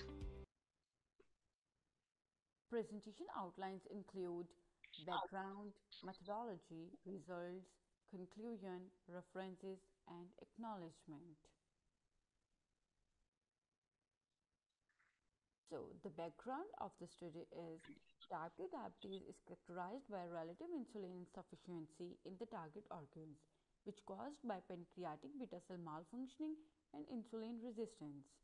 Dietary carbohydrates are the main factor influencing postprandial glucose levels. Several clinical studies have shown that diets with reduced carbohydrates enhance glycemic control. The mineral chromium is crucial for maintaining appropriate glucose function. Problem statement is there is a scarcity of data related to people's knowledge about the effectiveness of low carb diet and the use of chromium supplementation. So the aim of this study is to determine the effectiveness of low carb diet along with chromium supplementation in treating type 2 diabetes. Moving on to our methodology, Study design. A cross-sectional study was performed. Study setting. The study included private health center of Lahore. Lahore is a second largest metropolitan city of Pakistan. Study population, both males and females registered in the health center. Duration of study was 6 months, November 2022 to April 2023. Study instrument, a self-developed questionnaire was used to collect the data and analyzed by SPSS version 26. Results The response rate of the participants was 80%. Majority of the patients were of age group hmm. 41 to 50 years. The participants had a substantial proportion of females. It was shown that the majority of the patients were overweight, as evidenced by a BMI between 25 kg per meter square to 29.9 kg per meter square. 4% of the patients had diabetes before initiating the treatment program and 16% were pre-diabetic. After three months, it was found that 54% of the patients got ideal HbA1c level, while 39% were still in the pre-diabetic range. 45% experienced a reduction in their weight. Furthermore, it was discovered that 63% of the patients knew nothing about a low-carb diet and after the treatment, more than 40% of participants thought that low-carb diet while 33% selected both low-carb diet and chromium supplements to be more effective in controlling sugar levels. Conclusion The available evidence concluded that low-carb diet and chromium supplements do support good glycemic control in type 2 diabetic patients. Additionally, more studies are needed to assess the effectiveness of low-carb diet and supplementation in diabetes. Recommendations Firstly, raise awareness. Develop educational campaigns targeting healthcare professionals, individuals with type 2 diabetes, and the general public about the potential benefits of a low carb diet and chromium supplementation in reversing type 2 diabetes. Secondly, research funding. Government should allocate resources for research studies investigating the long-term effects and the efficacy of low-carb diet and chromium supplementation in reversing type 2 diabetes.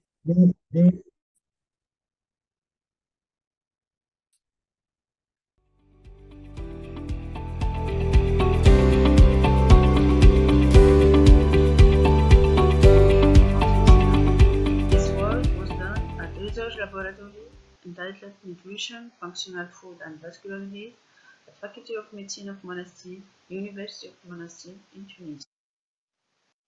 During storage and heat treatments, vegetable oils undergo oxidative and exotic deterioration that depend on enhancing and stressing factors like fatty acid composition, light, oxygen, and temperature.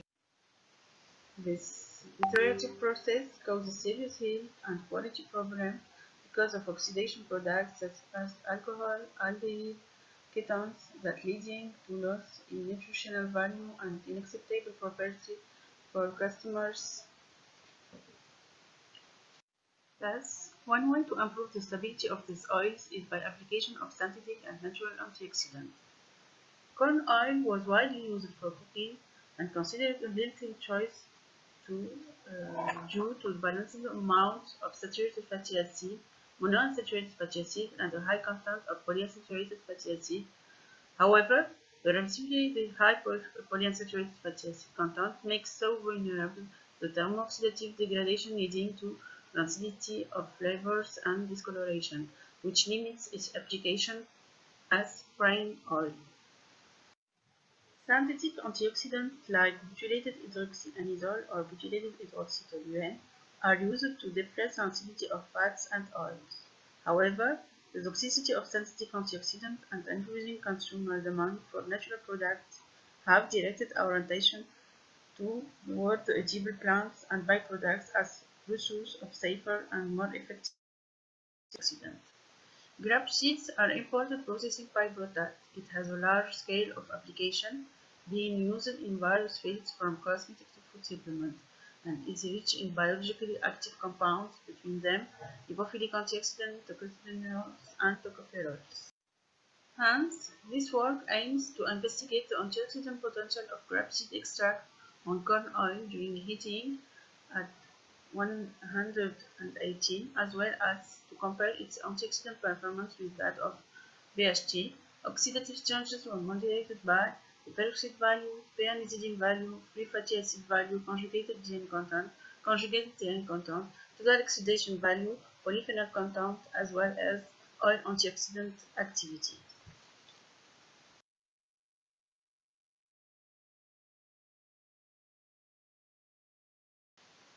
The synthetic antioxidant BHT and grapeseed extract are 200, 500 and 1000 ppm were added separately in corn oil in order to evaluate their antioxidant efficiency during heating under 118. The oils were thoroughly mixed and exposed to heating for 2, 4, 6 and 8 hours in order to evaluate their oxidative stability. The evolution of the oxidation state is followed by peroxide value, free fatty acid, p-anisidine value, conjugated diene and conjugated GN, total oxidation, total polyphenol content, as well as the DPPH scavenging activities. Data were subjected to statistical analysis using analysis of variance technique, and differences among the means were compared using the Duncan-Ritchie range test.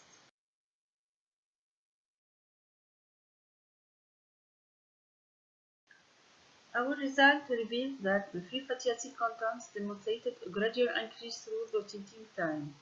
It was observed that corn oil containing 200 and 1000 ppm grapeseed extract as well as 200 ppm BHT showed gradual increase in the free fatty acid of the oil samples, and there was also remarkable differences in free fatty acid trend of corn oil containing additive grapeseed extract and BHT and corn oil which contain no additive. Based on the result obtained, it was clear that extract was able to retard the hydrolysis of triglycerides. No statistical differences was observed between corn oil and uh, supplemented with BHT and corn oil supplemented with grapeseed extract.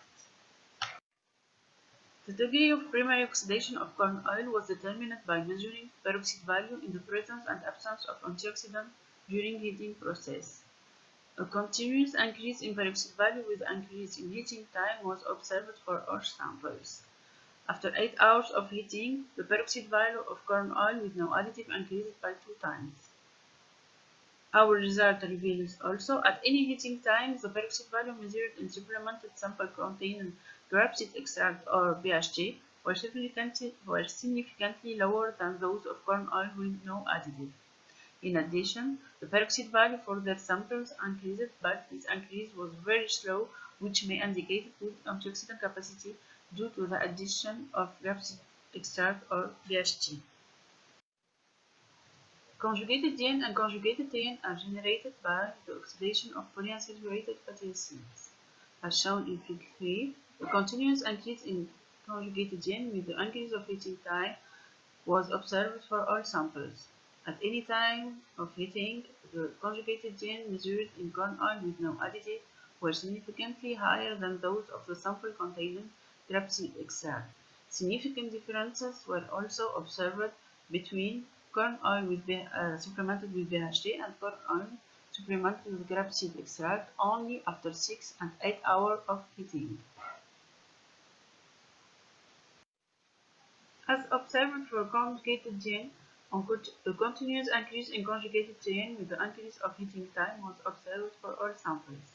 At any heating time, the conjugated diene measured in corn oil were significantly lower than those of, of the supplemented samples containing grapeseed extract or BHT.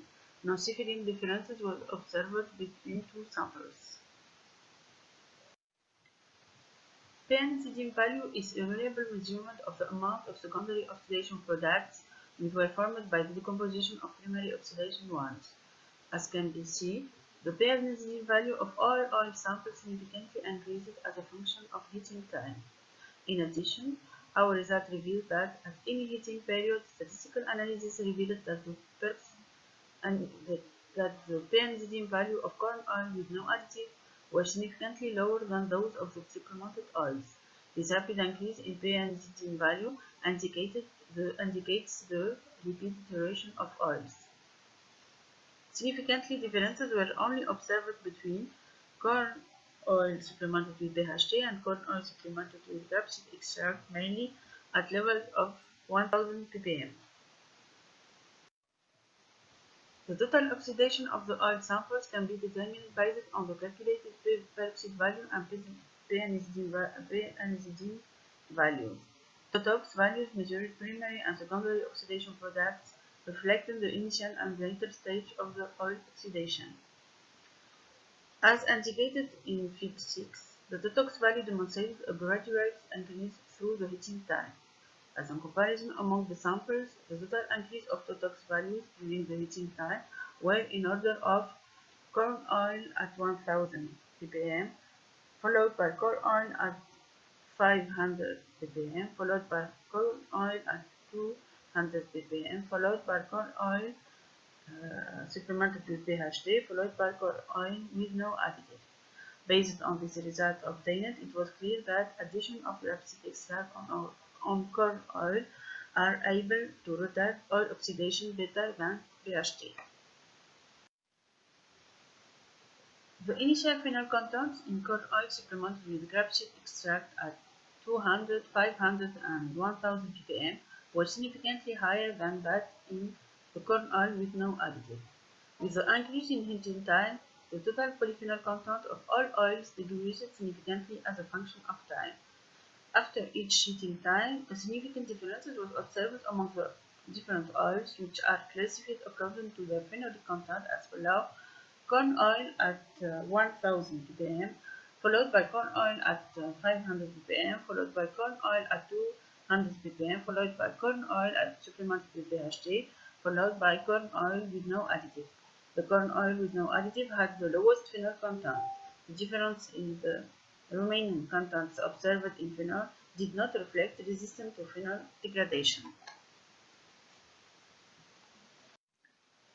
The study of the DPPH scavenging ability of all samples revealed that initially supplemented oils have higher radical scavenging activity compared to corn oil with no additive. Then, the DPPH radical scavenging activity of different samples studied significantly decreased as a function of heating time. Oil supplemented with grapeseed extract at different concentration showed higher radical scavenging ability than those with BHT at each heating period studied.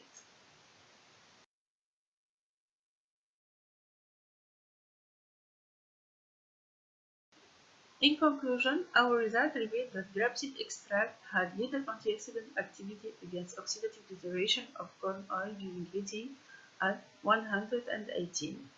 Also, the antioxidant activity of grapeseed extract against oxidative degradation of corn oil was better than that of BHT, mainly at level of 1000 ppm.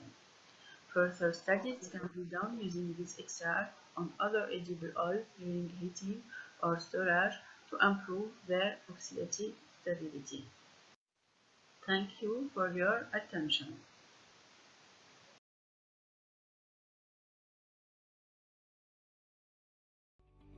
Thank you so much.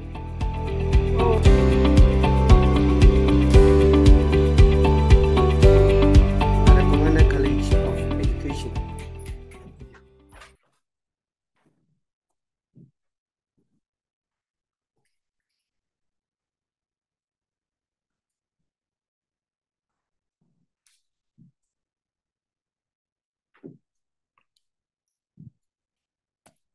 Citrus fruits and all their products have been part of the daily human intake in one or the other forms all over the world, hence are recognized as important components in human health.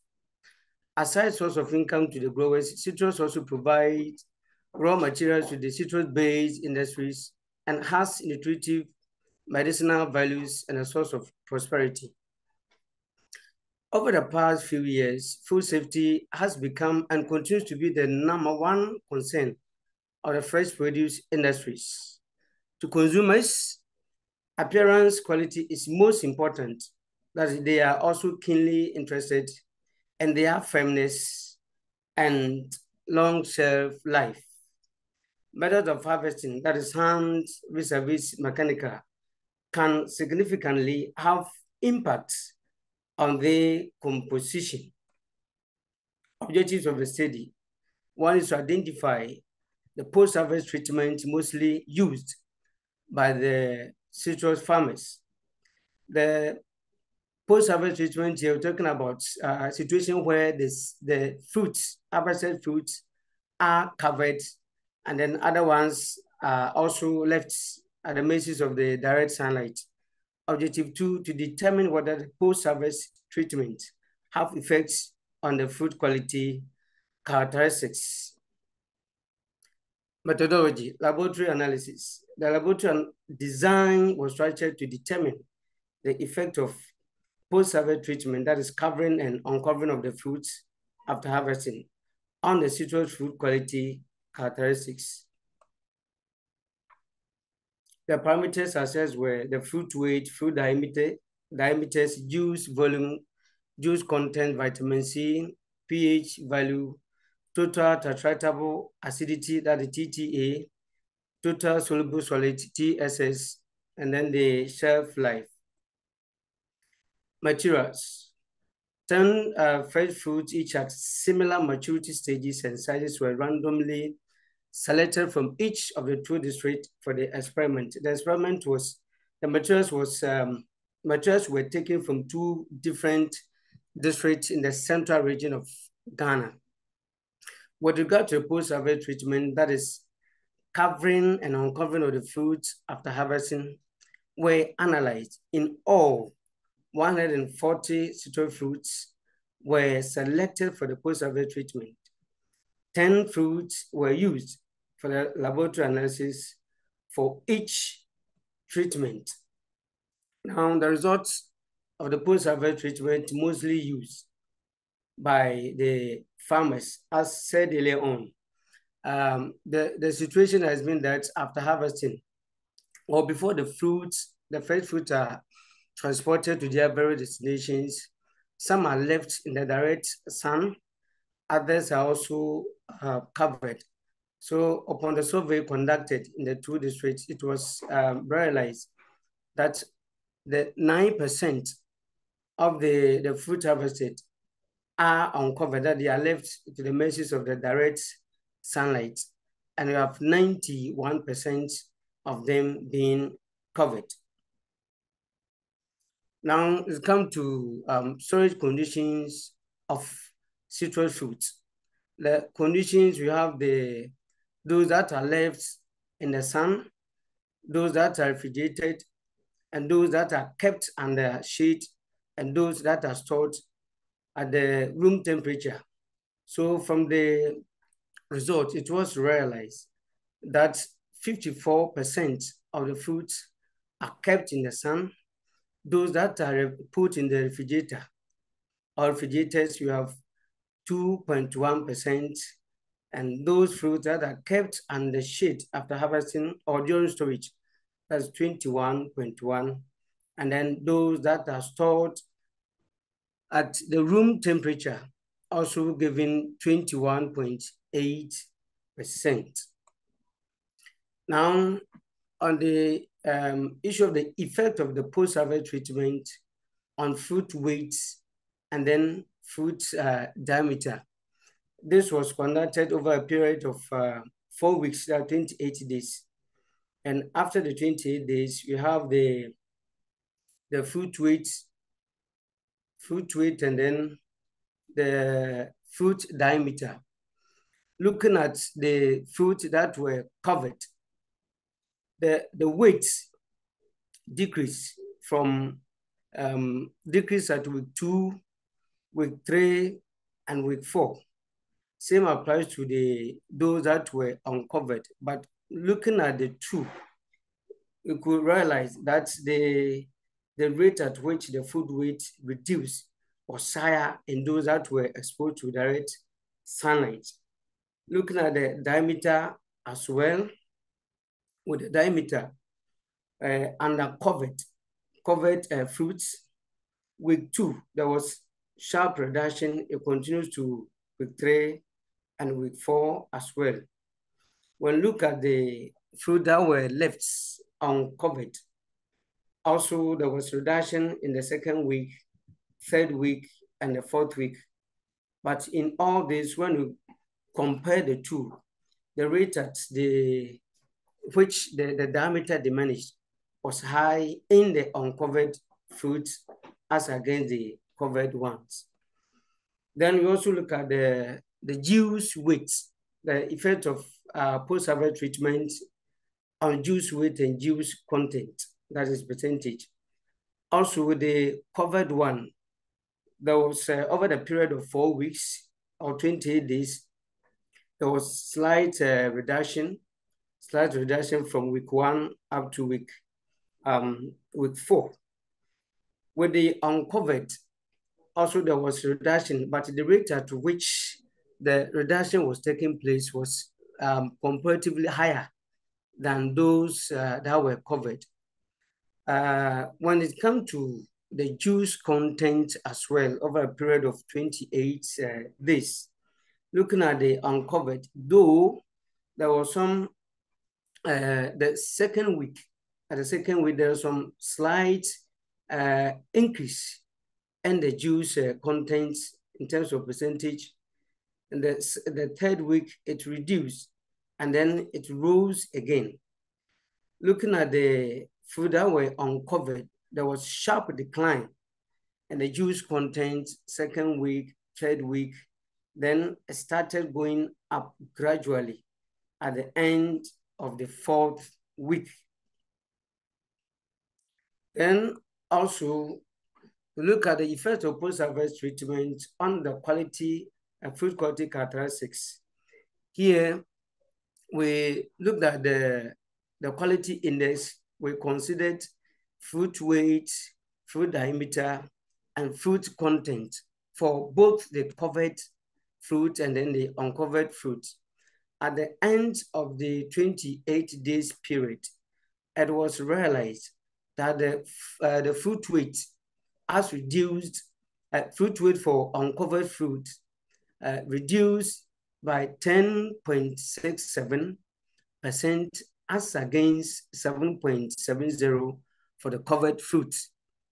With the diameter, there was reduction of 12.53 against 9.46 for the uncovered and covered respectively.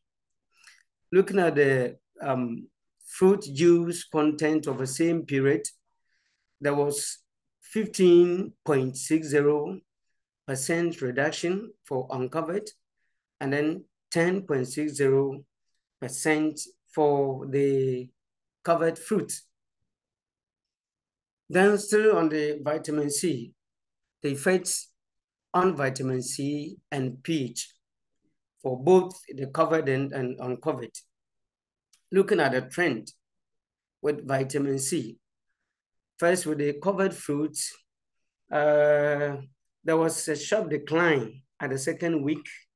Then it rose again sharply at the third week. And there's another um, increase at the week four, but at very slow uh, pace.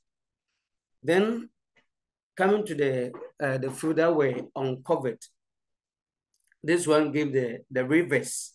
There was sharp increase in vitamin C content in the second week, then it dropped slightly at the third week, and then it rose again. But looking at the, the pH of the fruits that were uh, covered, that were that were covered. First, second week, there was rise in the pH uh, level. Then that, that level was maintained in the third week. And then the fourth week, it rose again at the end of the fourth week. But with the fruits that were uncovered, that were left in the direct sun, that one didn't have any change from week one up to week eight or over the period of uh, 28 days, the pH value still remained the same, which means there wasn't any effect on the whether the fruit will be covered or the fruit will be left in the direct sunlight. Then we also look at the um, TTA and then TSS. the total titratable acidity, and then the total soluble solids, that the degree Brix. With the covered foods, first, there was reduction in the second week. The third week, it rose again that there was uh, increase. And then at the end of the fourth week, there was another uh, reduction. But looking at the uncovered uh, fruits, there's a sharp increase at the end of the second week. Then it increased again, but here the rate at which it was increasing uh, was wasn't that much, and the content once again reduced at the end of the fourth week, that's the 28 days. And then with the um, the degree Brix, that the total soluble solids, with the covered fruits, there was an increase in the second week. And the third week, there was sharp drop, or sharp drop. And then on the fourth week, it increased again. Looking at the uncovered, the result indicates that there was a, an increase um, in the degree Brix at the end of the second week. The third week, it's, it's dropped slight, slightly and then rose again to the same value as we observed in the second week. Result continue. Now, table three, looking at the effect of post-harvest treatment on the shelf life of the citrus fruit stored at a room temperature for a period of 21 days. So we have treatment, we have total sample, we have week one, week two, week three, week four, total spoilage, total sample left, and then percentage spoilage. So from the treatment section, we have the covered fruits and then uncovered fruits. Uh, 20 uh, fruits randomly selected were used for um, each treatment that are covered and then the uncovered.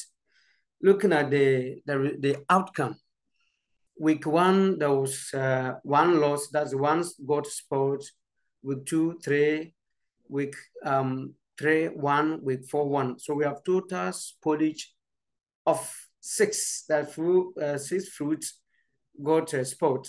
Percentage-wise, at the end of the 28 days, it was realized that fruits that were covered uh, had a loss of uh, or total spoilage of 30%. Then looking at the uncovered fruits, we have the first week, two of them got spoiled, second week, three, fourth week, uh, one, and then a third week, one, and a fourth week, we have uh, three, totaling and nine. And this nine represent 45% of the spoilage. So we have 30% spoilage of the covered food against 45% of the uncovered fruit. The implications. The results indicate that holding citrus fruit for up to 20 days could reduce fruit quality in both treatment, but relatively quality is more adversely affected when fruits are exposed to direct sunlight. Nutritionally, citrus fruit, whether covered or uncovered, when kept for 20 days, although decreased in weight, juice content, and size, that's in terms of diameter, it still contains some appreciable quantities of vitamin C, as well as um, soluble sugars, which are also um, which are used as good source of nutrition for the body. The general inconsistencies of vitamin C content, total titratable acidity, and total soluble solid were due to the temperature fluctuations because the, there was uh, there were some fluctuations um, that were observed during the period under consideration. And this was uh, also found by Brooks et al. in 2019. An increase in ascorbic acid is good for companies' secondary production because some companies purchase the fruits according to the content of the ascorbic acid, which determines the sugar level.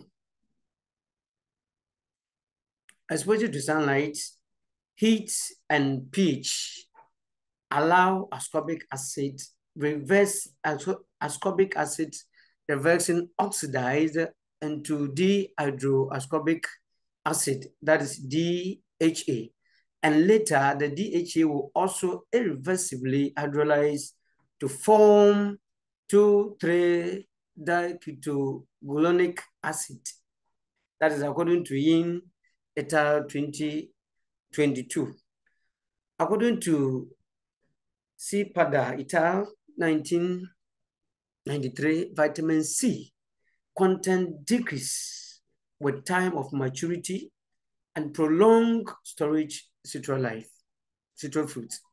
The content of vitamin C in fruits is influenced by factors such as genotypic differences, pre-harvest and post-harvest climatic conditions, and cultural practices, maturity and harvesting methods, and post-harvest handling procedures. Conclusion. Fresh fruits, as uh, we all know now, as it is known, play a significant role in human nutrition, especially a source of vitamins, minerals, and dietary fiber. The quality, the degree of excellence or superiority is a combination of attributes, properties, or characteristics that give each commodity value in terms of its intended use. However, from the findings, whether the fruits are covered or exposed to uh, sunlight, that is after they have they've been harvested, they all affect all these two treatments, all affect the fruit quality. However, it was observed that leaving the fruit in the sun has more adverse effects on the fruit quality characters, such as juice content, fruit weight, vitamin C, total titratable acidity, and total soluble solid, the degree Brix. It is therefore recommended that farmers and other stakeholders cover their fruits after harvest to forestall some of these challenges. Thank you. The end of presentation. Thank you for your time and attention. Those are open for any further uh, questions. Thank you so much for the presentation. It's a beautiful presentation. If anyone has any questions, please ask.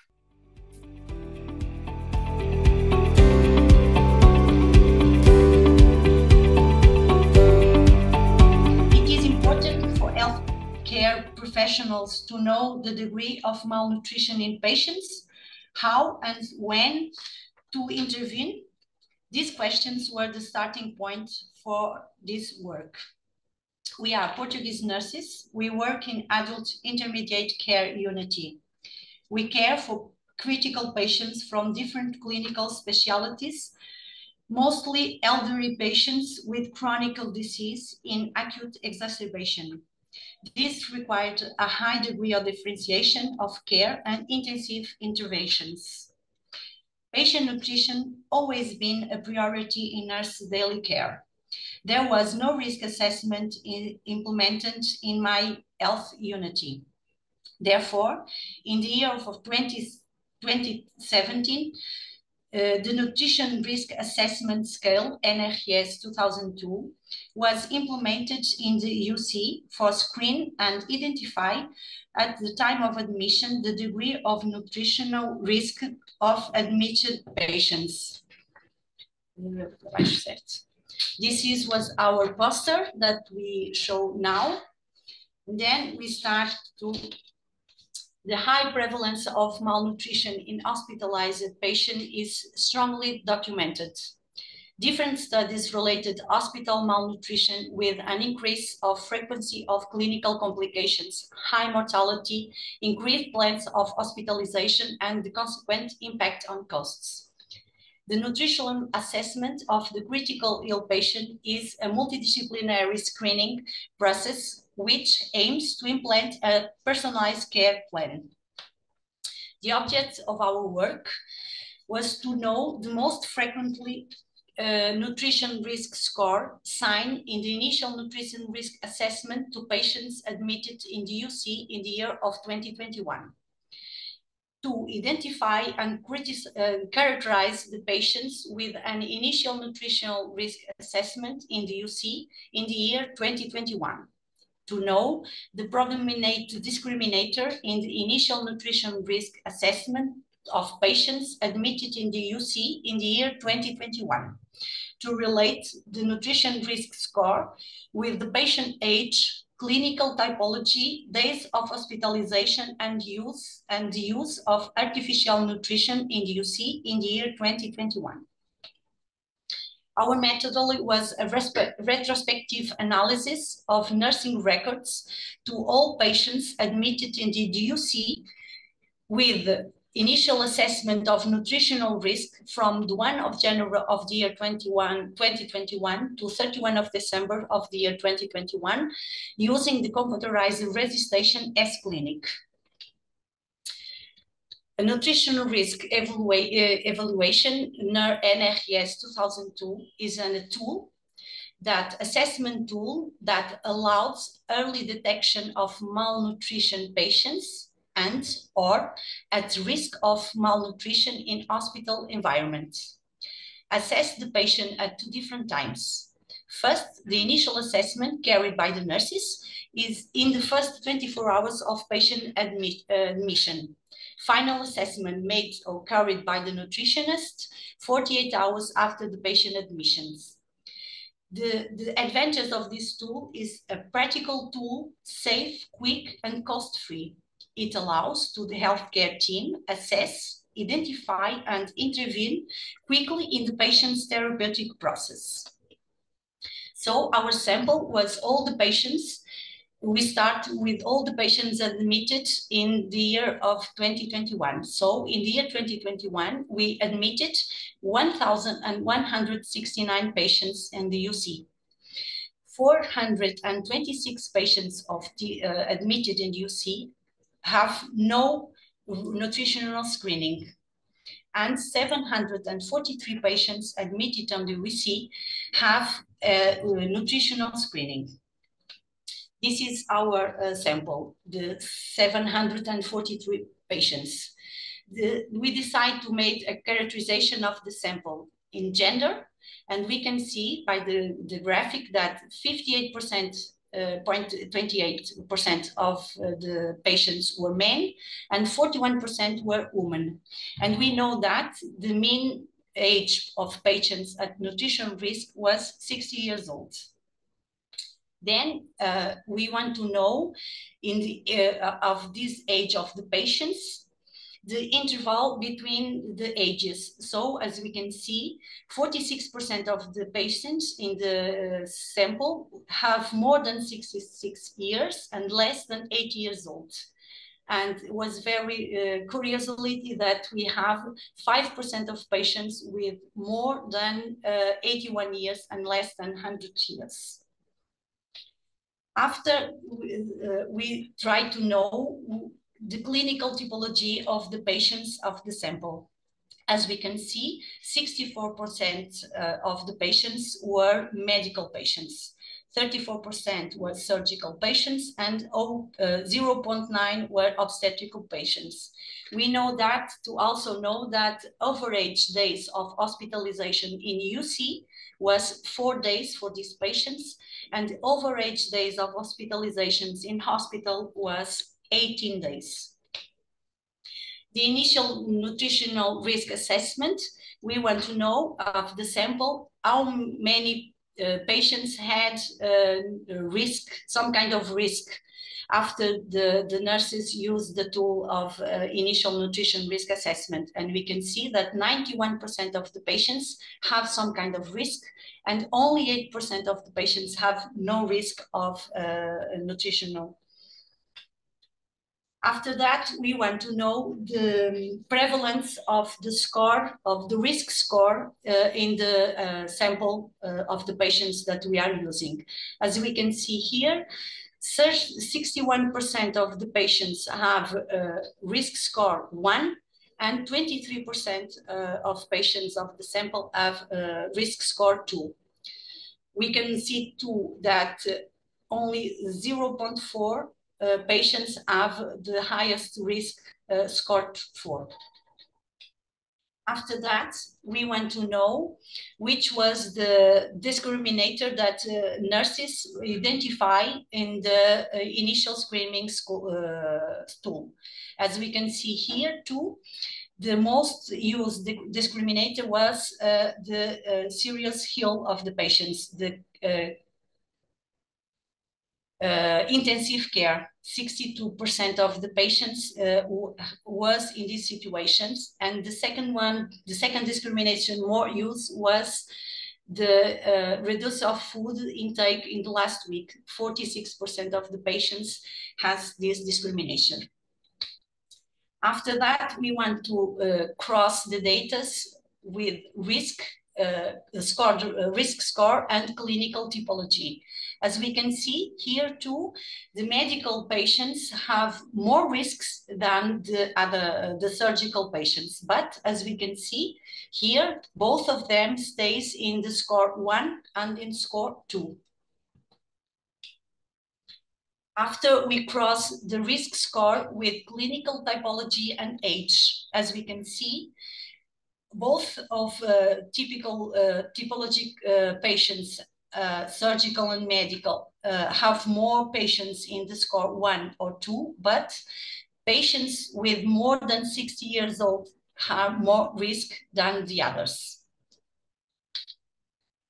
Then we want to know the, how, we, how was the, the administration of artificial nutrition in the patients of the sample. So as you can see in this graphic, 276 patients were nutritional supplements and 123 patients was uh, administered parenteral nutrition and 70 patients were administered with uh, enteral nutrition. After that, we can see that in the score of risk one and score of risk, uh, risk score one and risk score two of uh, nutrition, we can see that where the most um, patients was using nutritional supplements. But we can see here that parenteral nutrition was used too on the uh, patients with uh, risk score one and in risk score two. Then we cross the artificial nutrition with clinical typology and the age of the patients from the sample. As we can see in this graphic, the age is a very important factor because we can see that patients with more than 65 years old are uh, were the most supplemented with um, nutritional supplements and they were almost the same for medical and uh, surgical patients. Then we cross and we want to know the overage hospitalization days uh, related with clinical typology. As we can see, uh, the overage of hospitalization days in intermediate care was for surgical and for medical uh, patients three days for surgical patients and 4.15 uh, days for medical patients. But when we look for the graphic and we can see that medical patients stay more time in hospital than the surgical patients. Medical patients stay 20 days, 0.11 in hospital, uh, in hospital our results, we can say that of the 1,169 patients that were admitted in the UC, 63% had an initial nutritional risk assessment carried by the nurses in the first 24 hours. 58.2 of the patients are men and 41.7 were women with an overage of 60 years old. Regarding clinic typology, 35 of the patients were surgical and 64 medical and 1% was obstetric patients. Of the 743 patients, the, our sample, with initial risk assessment, 8.8 had no nutrition risk. 85.1 patients, percent of the patients with nutritional risk, we can say that 61.5 were score one and 23% were on score two. This was the most prevalent scores in the unity, score one of risk and score two. The two discrimination most used by nurses in the initial nutrition risk assessment were is the patient serious ill and the reduction in food intake in the last week. By relating the nutritional risk score with the clinical typology and the age of the patients, we found that 25.9 25.9% of the patients have a risk score of one, and the majority, 38.7, are medical typology and over more than over 60 years old.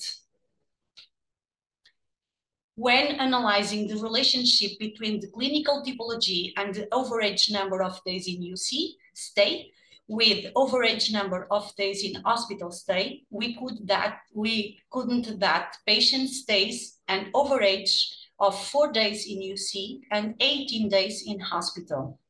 Comparatively, medical patients remained hospitalized for 20 days and surgical patient for 70 days.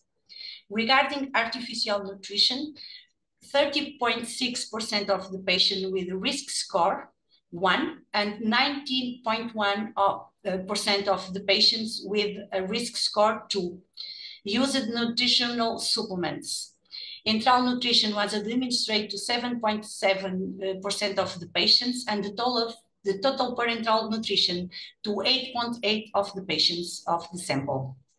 Finally, it was found that patients aged over six years admitted in the UC were the most supplemented regardless of the clinical typology. Conclusions. We can say that most of the patients admitted in the UC have some type of, of nutritional risk. The most prevalent nutrition risk score in this sample is the risk score 1 and 2. It also shows that early identification of patient with nutrition risk in hospital settings carried by the nurses in the first 24 hours after patient admission, we believe that has a significant and relevant impact through the nutritional therapeutic strategy for the patient reducing the risk of malnutrition in hospital settings. It's important to encourage and train the teams to understand the importance of assessing the nutritional risk of the patients admitted in hospitals, contributing for 100% of assessment rates. It's important to evaluate the relationship between the use of artificial nutrition and real method, mm, metabolic needs of the patients and reflect on the importance of artificial nutrition in the development of new knowledge to combat malnutrition in healthcare. Thank you. If you have any questions, please do it. Thank you, Luisa, for the presentation. Yes, you may ask the question if you want to ask.